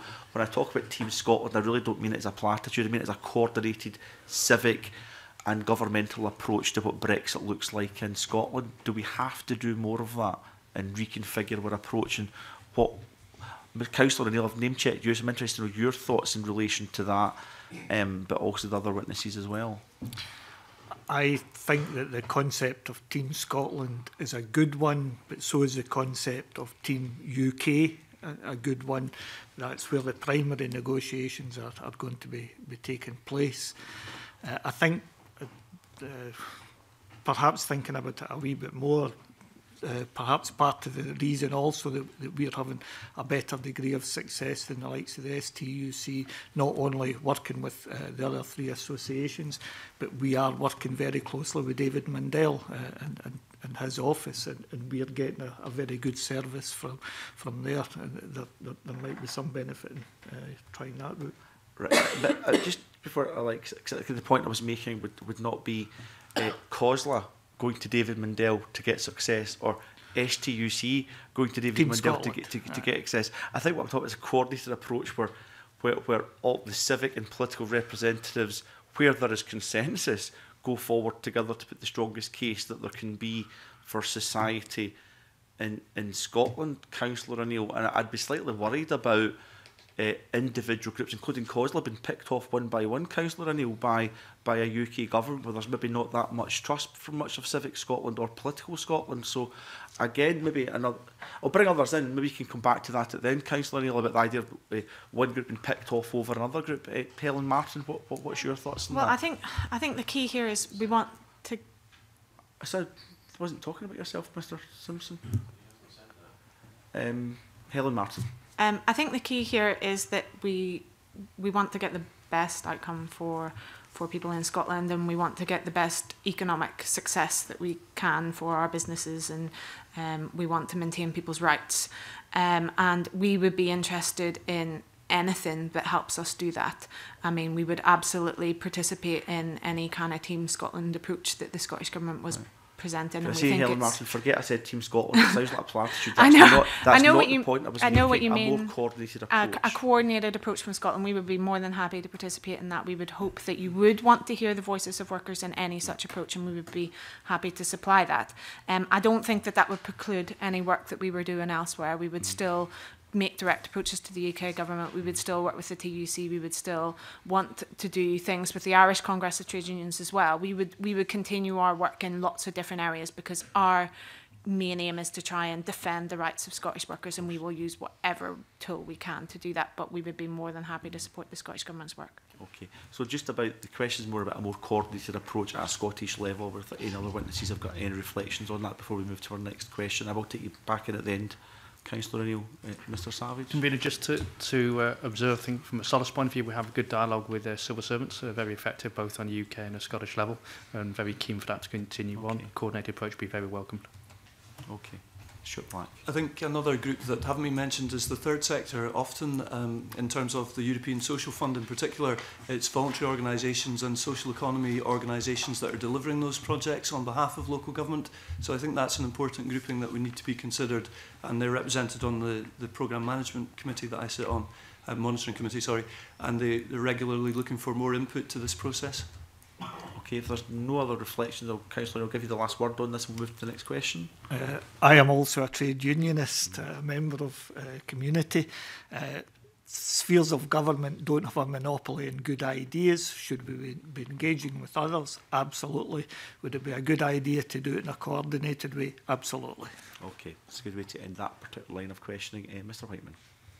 Uh, thank you, um, Convener.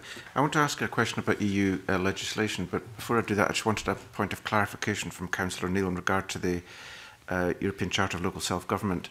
I mean, is the one question around um, um, implementing a provision of that, which to, is to recognise local government in the constitution, and that there are issues around that, and that's been dealt with. But when you talk about transposing, are you talking about incorporating it into Scots law, such that that treaty becomes justiciable in Scotland? Yes. Okay, yes. that's useful to clarify. Um, on EU uh, legislation, you make a number of points um, uh, in, in, in the COSLA paper, uh, and Professor Mitchell refers to these as well, around European legislation, which is now very extensive, of course, in regard to environmental protections, uh, consumer protection, trading standards, how much noise lawnmowers make, uh, etc.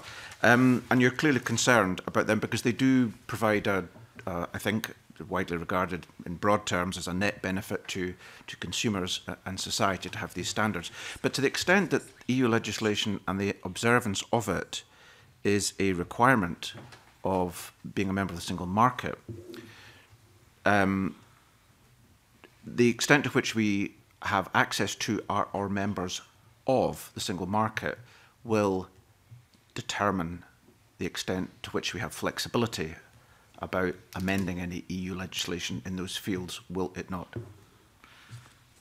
Professor, I, only because I saw Professor Mitchell nodding yeah. his head first. and, uh, I mean, yeah. yes, I mean, I think one of the, the, the, the one likely or possible outcome of negotiations is that um, we will continue, if you like, to shadow EU regulations and law. I mean, that happens. Norway does that. I mean, much of Norway, Nor Norwegian law outside the EU essentially follows EU law, not least because they want to sell their goods and services. If we are manufacturing goods and services we want to sell it And the rest of the EU, we will have to abide by EU laws and regulations. There's also the other part that you mentioned that some of these are very attractive. And I think in terms of just following good practice, we'll want to keep an eye on what's happening in the EU. One of the things that the EU has offered um, is one of these things that, in a sense, we, we kind of take for granted. It's immeasurable, and that is uh, as, a, as a policy transfer field. We, we learn and we get best policy. Some of it isn't good policy, some of it we would want to change, but there's no doubt at all about that. I mean, a lot of this will come down to, and I think that's the, the, the number of the question, if, I, if, I'm, if I'm understanding it correctly, is uh, the question of our relationship with the single market. Um, I, I do tend to think that hard soft Brexit are, are over, overly simplify the situation. Um, but I do think there's no doubt that, that uh, yeah, we'll, we'll, we'll, um, I find it very difficult to believe we would not be continuing to follow EU rules. The one problem is, of course, we won't have a voice. We won't have a voice in any of that if we're outside it. But we'll have to follow it if we want to sell, sell our goods and services, whether we're in the single market or not, frankly.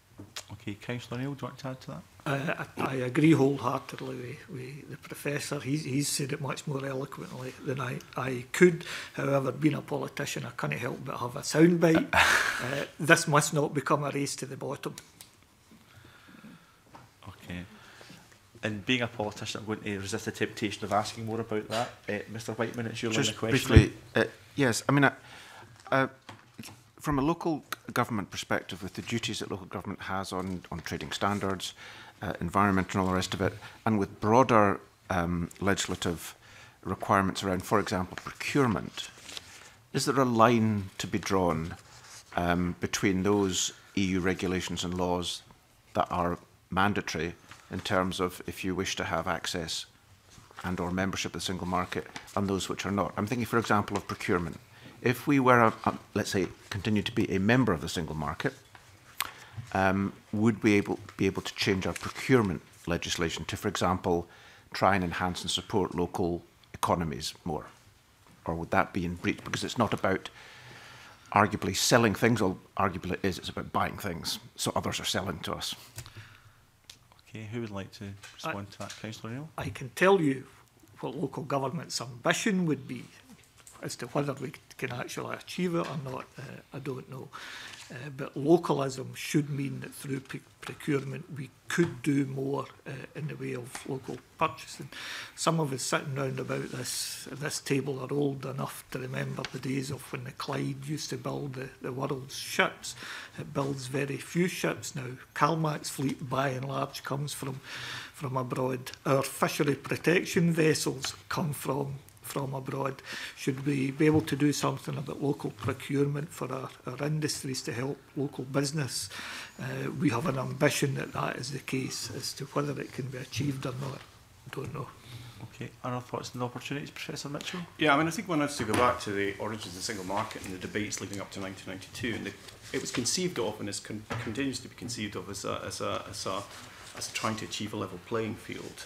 And I think if you were to um, change that and to advantage the UK as perceived by EU27, you would be in difficulty. In other words, if we thought we could amend the procurement regulations or any others in a way that might make it cheaper, easier to sell inside the single market, that would be objected to. I think one of the things that I find slightly odd about much of the debate post referendum on Brexit is the assumption in the UK that it's a decision for us. This is a negotiation. The EU 27 will all have, each individually will have a vote and a say in this, and their interests will have to be taken into account. And I think it's important to try and understand how would they respond to um, a requirement, a demand, a request, whatever, because it's really only a request, for giving the UK some advantage. It's just a non-starter. So I suspect we will be in a position where we will continue, if we want to have access to that single market, to follow current um, uh, single market rules and regulations without the voice into the future. Uh, that would be my take on it. Alan Martin, did you want to come comment any of that? Yeah, I mean, I think this is this is really the crux of the debate. Like, how, what are we going to negotiate? How much wiggle room are we going to have for the acquis communautaire? And um, I think there is a real politic here. And there are moments when that'll work against us, and you cite one, which is procurement, but there are equally times when it might potentially protect workers. And I'm thinking about, you know, all the workers' rights that, that come from Europe. Um, I think questions of the status of the ECJ are very interesting, uh, whether or not we'll have to uh, abide by their rulings, what the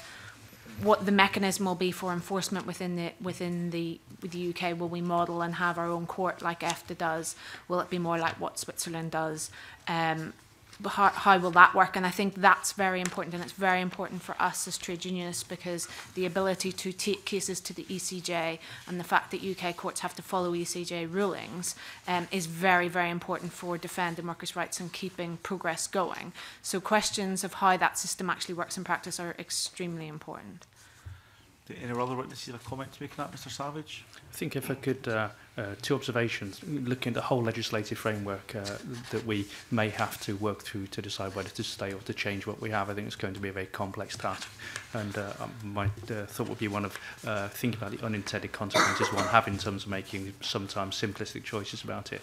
I use procurement to illustrate it.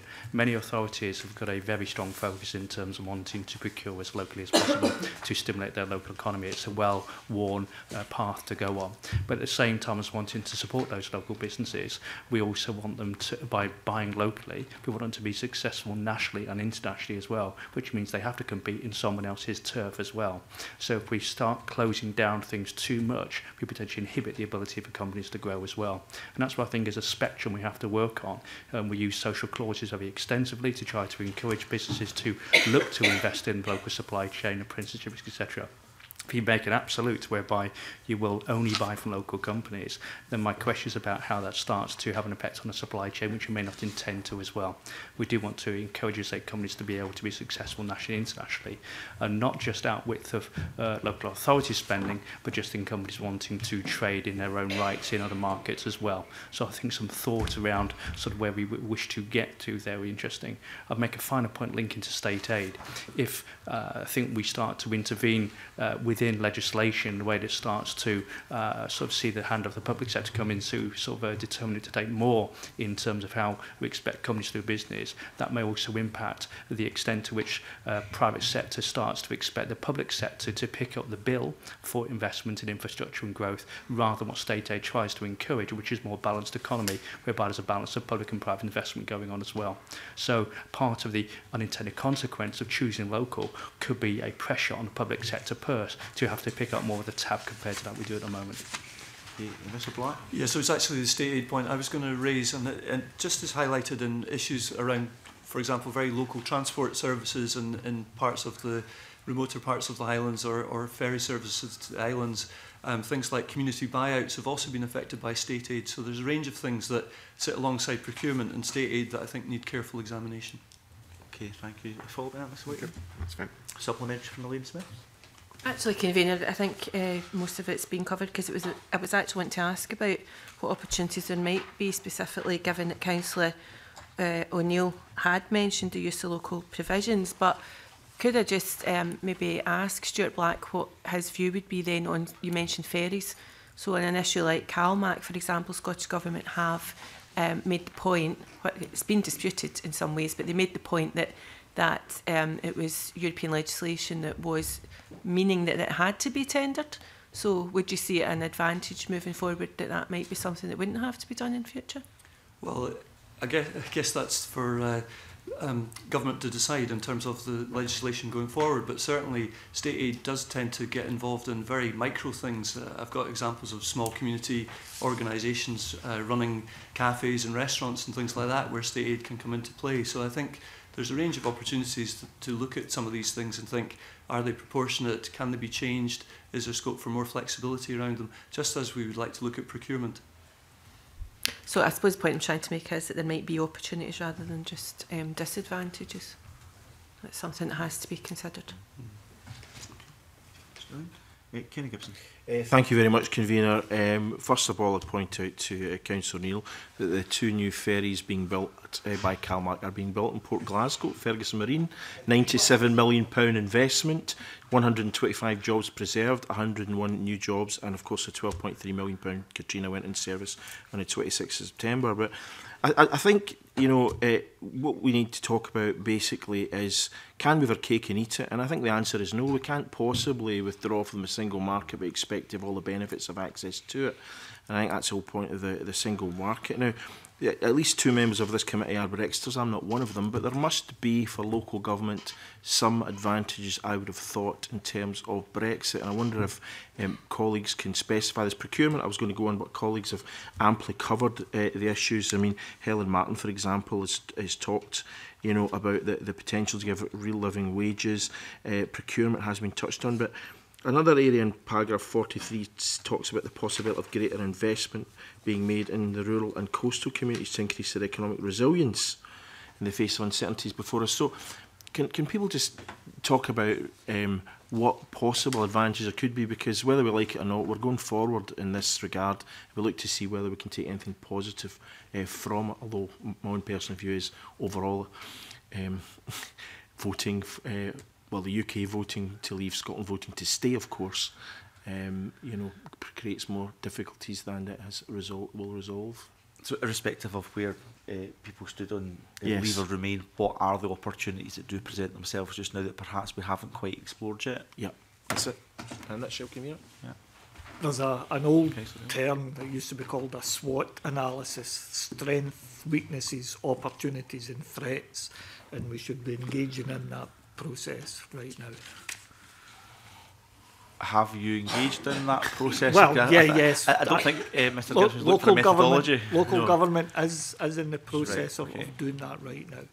Every, sorry, every career, every threat is an opportunity. That's another slogan. At the end of the day, uh, uh, I want to know what the, where, where these specific opportunities lie. I think that's every threat is an opportunity. You can't have your cake and eat it. SWOT analyses, exactly. but I think the, the substance of the question was can identify some of those. They might not. They might went to a SWOT analysis and they, they don't fly. But what are the potential opportunities? Let, let's put it that way. Does anyone want to maybe have a go at that, Professor Mitchell? I think one of the areas that is worth looking at um, is certainly procurement. I mean, uh, anyone who's um, done any work on that will be aware that there's a great deal of concern across public services in terms of procurement rules, and some of that is because of the EU. Um, I think it's impossible to give a detailed answer on that at this stage, but certainly one of the areas I would begin to focus on. I think it's an area that you would have to be very careful in, as in all, and I think uh, Mr. Sanchez' point is crucial. It's the unintended consequences of any uh, proposal uh, to, to, to alter uh, current, current uh, state of play. And also, uh, uh with respect to that, I think one of the things to be constantly aware of is the view of EU 27. because it may well work to the advantage locally, whether that locally is local authority level or lower, or indeed Scottish level or UK level, but it may mean that it is difficult to to access EU. So I think again, you know, the, the notion that we've left the EU is, is, is a misnomer. The EU is still there; it's still going to influence what we do. So take that into account as you move forward. But procurement, to me, is given that there are so many concerns around procurement, an area that you need to go into in great detail. Um, there will be other areas, but that's the one that jumps out at me as a, an area where there's opportunities to, to, to, to grasp. Okay, uh, Mr. Savage, yes? maybe slightly parochially, but I think the opportunities may come forward on a sector by sector basis as well. And clearly that's going to be a different picture across different parts of the country. And so from a northeast point of view, uh, looking at the uh, fishing industry at the moment, clearly negotiations going on overnight in terms of current quotas, uh, but clearly sort of uh, that sector and that community voted in particular pattern as we understand it in terms of their views in terms of Brexit. And we do envisage, and uh, so they do envisage and see a more positive opportunity in terms of uh, Brexit in terms terms of that sector, in terms of what the quotas may be. In a broader sense, again, into the unintended consequences of huge dynamic yet to be worked through in terms of how the market may change completely. But we do think from a business point of view, it's going to be a sector by sector, area by area point of view my, my, my second point of one of the, the upside in the opportunity, um, it's clearly stimulated a lot of thinking and consideration without being too simplistic about it, about what the different scenarios are, long-term plans are, that each area and each community needs to have and sharpen up at this point in time. So I thought I was sitting with existing plans in terms of uh, school roles, uh, house building, uh, what services provided in the future. Those are now coming into sharp focus to, our, to get us to reappraise those and consider what the different options may be as well. We may not have done that quite so diligently or as effectively without Brexit coming forward to actually stimulate that consideration now. So that has to be an upside. Okay, thank you. Helen Martin is what to come I mean, um, I think it is right to think about the opportunities. And um, from our point of view, this is an opportunity to reshape our economy, to think about how it is that we give workers better protections in the workplace, how it is that we maybe redesign workplace democracy to ensure that uh, the workers' voice is heard better and that we get better outcomes in businesses. But I think there is we have to be alive to the fact that there are a lot of challenges here. Um, you know, the economic figures don't post-Brexit aren't brilliant. It does look like we're going to have some economic problems. There is a, a, whole spectrum of analysis, and it is difficult to predict all the different scenarios that, that may play out. I think there is a clear direction of travel starting to form in terms of a kind of low tax, low regulation economy seems to be what the UK government's vision is. And we really would like to see the development of the UK economy in a different direction. And um, I think there is an opportunity there to have that debate, to think about the sort of economy that we live in, the sort of um, the sort of rules that we put around business, uh, but there's also a threat that we'll move backwards from even where we are. Okay, thank you. Stuart Black, do you want to come I in? think one example of uh, something that's happened quite recently is uh, strengthening of our twinning relationships with um, different parts of the world. So Augsburg in Germany, for example, is twinned with Inverness, and we had a delegation across from Augsburg looking at ways that we could work together in future. They were concerned about uh, what would happen post-Brexit, as were we. And that was a, a good example of something that's happened because of the the impact of the vote. And they were particularly looking at the health sector, life sciences and tourism as industries we could develop stronger links between. Okay, thank you. Do you want to follow up on anything? No, just to say, it doesn't seem that there's a lot of upside for local government specifically anyway. I know everyone was looking for uh, straws here and there, but uh, in terms of local government, I didn't hear much. Okay, um, thank you. Graham Simpson.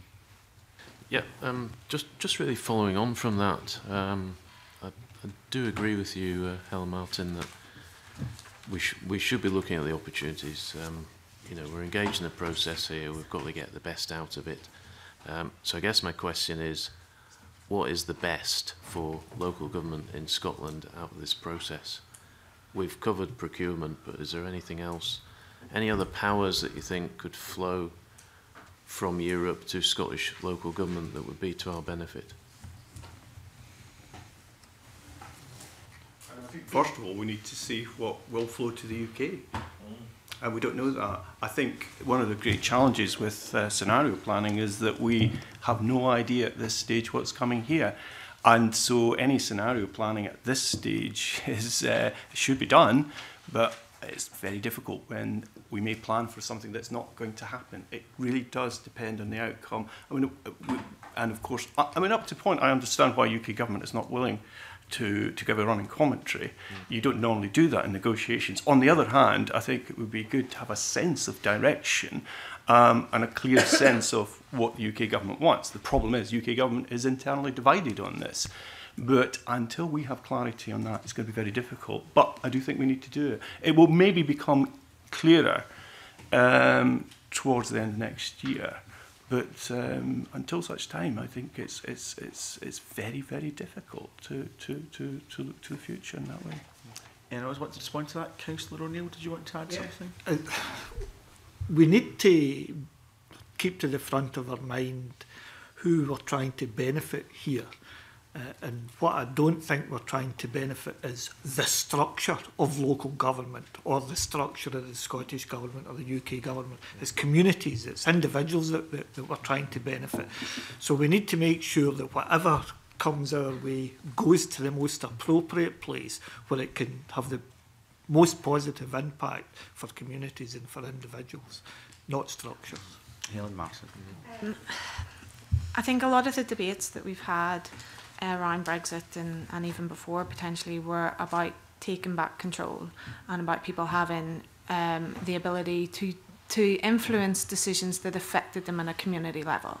I mean, some of the reasons why uh, my members who voted to leave did so was because they felt like decisions were taken all the way up here and they just they couldn't understand them they couldn't see them coming they couldn't influence them so um, what i would what i think is a potential opportunity is that we can have a discussion about how it is that we make communities feel like they can influence the decisions and maybe reinvigorate um, local government and local democracy as, as part of this conversation as well because you know it, it isn't really necessarily a good outcome if we take back control but it sits at the UK government or sits at the Scottish Parliament and the community never sees it so I, I think there is an important, an important part about democracy democratization and about hearing people's voices and giving people um, powers as a result of this change. Okay, anyone else want to add to that? Uh, Jim Savage. Yeah. I think we're just at the start of the consideration to your question. Uh, from my experience, people are looking at what the the macro position is in terms of the effect of uh, uh, anticipated effect in terms of migration, economic changes. The ambition for communities has not changed in the midst of this whole debate. We're still wanting to have strong, vibrant, economically sustainable, well looked after, sort of flourishing communities across the whole country.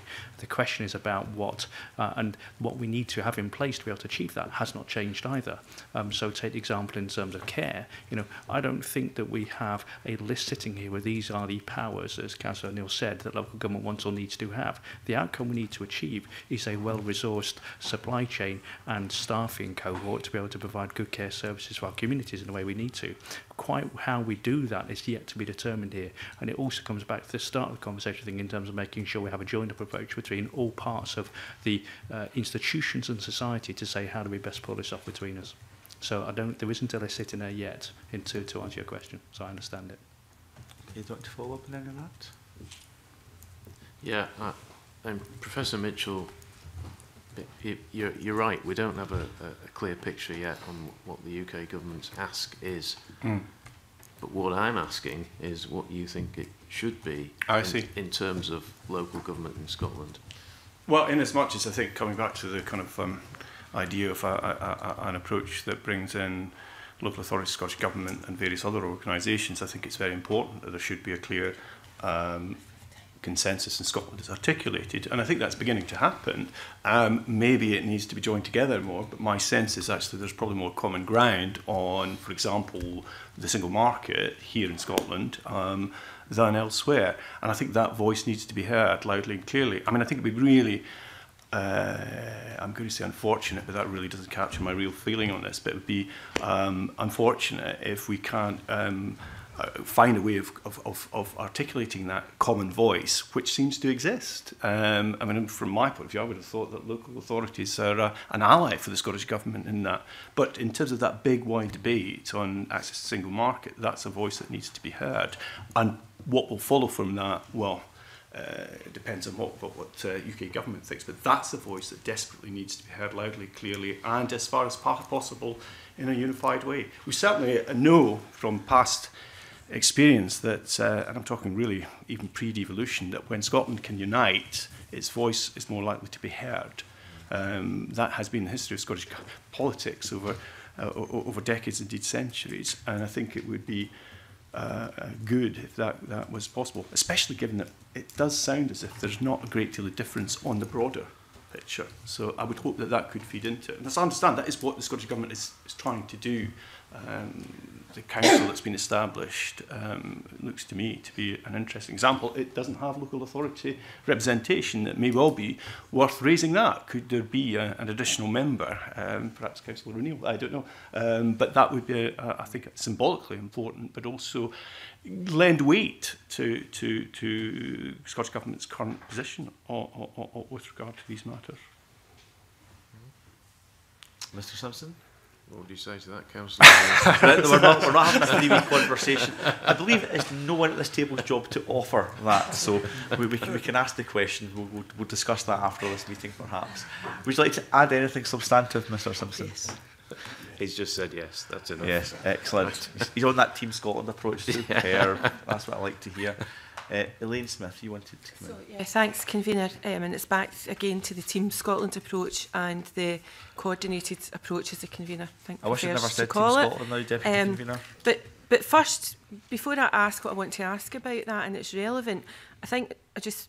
would like to make the point that my colleague made the point on the record that uh, Scotland voted to remain was the quote. But I think that we have to be careful with that because, yes, the majority of people who voted in Scotland voted to remain, but not the majority of the population of Scotland, and there has to be some recognition of that. Um, certainly, I do it from a perspective, as, as Kenny pointed out, that I was um, I, someone who voted to leave from a Lexit point of view, a left exit point of view. So I make that, you know, I put that out there, obviously, that that was where I was coming from. But the reason I say that is that it, it wasn't just a Scotland-wide vote. You know, it was a UK vote. So if we come back to the whole issue of Team Scotland and um, the coordinated approach, then it can't just be up to the Scottish Government. We've been discussing whether or not the Scottish Government's been engaging with COSLA and how they have been engaging with um, the STUC.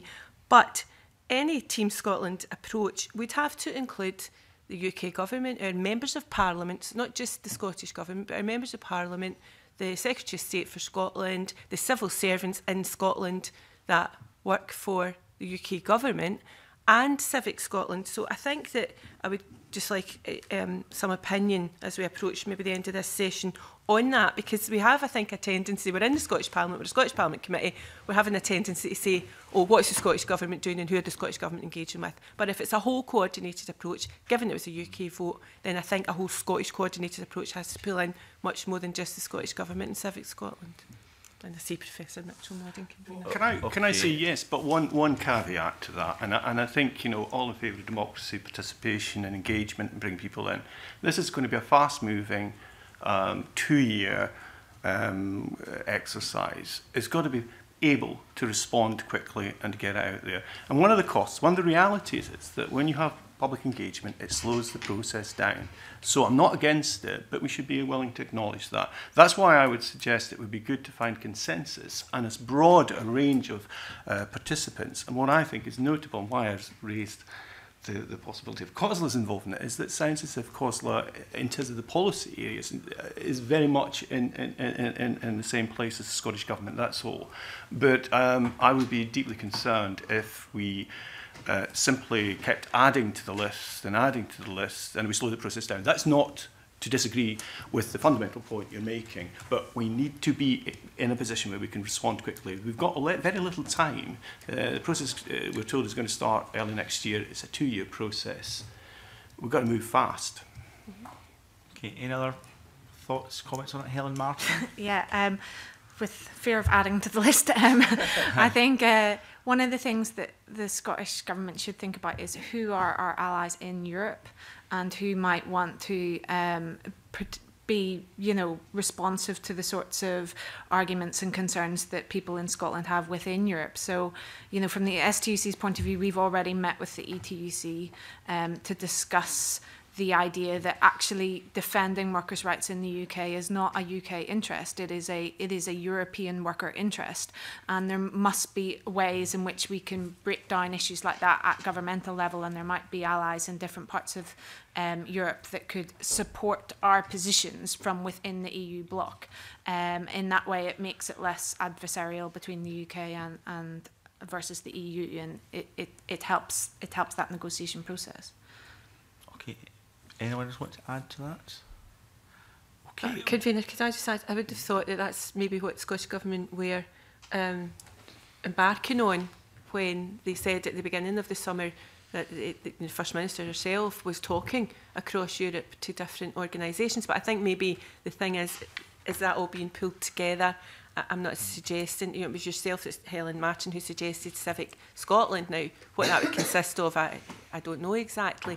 But perhaps what is needed is uh, people getting together in Scotland to get the feedback from that, to discuss it. And as Professor Mitchell says, that really needs to happen quickly. Mm. So somebody needs to take the lead on mm. taking that forward. But can I, that, that, interested to know what, how that would work and, and to make sure that we don't end up having a discussion that we should be having in private when we consider our evidence after this evidence session, but in relation to uh, what a Scottish approach would be, because it's not unreasonable to suggest that there may be a strong consensus in Scotland over what Scotland would like to see out of negotiations with EU27 uh, eh, following Brexit and what that deal would look like.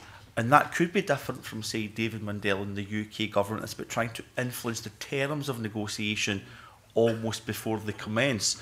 So that then becomes difficult, of course, to have a, a Team UK approach to what could be a distinct Scottish view as expressed in the referendum. So any any comments or observations you can make about how we get that what I would consider to be a kind of unique Scottish approach to what will be UK negotiations and the structures around that would be very helpful. at the end of the day, what we've all said is it's not just about the structures, but making sure that Civic Scotland and the people that we represent and all of you represent uh, get the best out of uh, Brexit negotiations. So any additional reflections on that would be welcome before we tie up the end of this evidence section. Councillor O'Neill. One reflection and that would be that devolution has meant that we have four different systems in the UK. Uh, eh, the Scottish Parliament is a very powerful devolved parliament the Welsh Assembly uh, getting some additional powers, but it's a different set, set of competencies. And the Northern Ireland Assembly, different again than what remains in the UK. So it's, it's right and proper that we should be dealing with this both in a UK and a devolved sense. And that's very helpful. Any other reflections before we kind of move towards the end of this evidence session, Professor Mitchell? The thing I would say is that one of the reasons the Scottish Parliament was established was to be the voice of Scotland and to draw in from Civic Scotland opinion. And in a sense, I'm tempted to throw this back at the Parliament, to you and other members of the Parliament, to find a way of doing that and to articulate that. We, we are not in a position to do, to do that, but the Parliament is.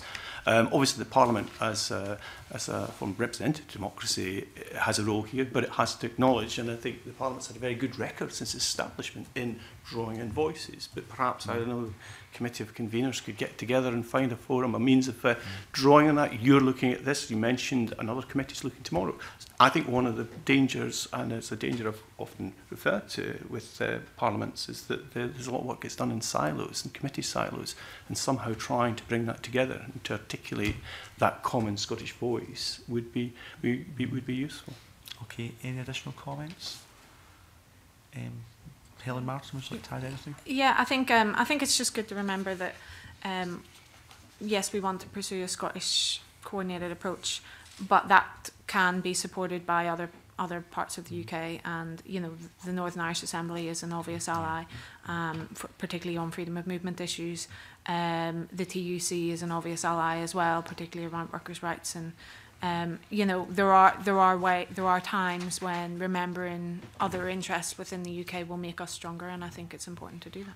I, I, think that's very helpful. Stuart Black, did you want to add anything? Just, just a minor point about the regional dimension as well. The Highlands and Islands is an area that's benefited over a long time from European funds. So I think in, an, in an attempt to gain voices across the country, we'd also make, need to make sure that we hear those voices from the north of Shetland, the west of Lewis, and, and places further afield than the Central Belt well made.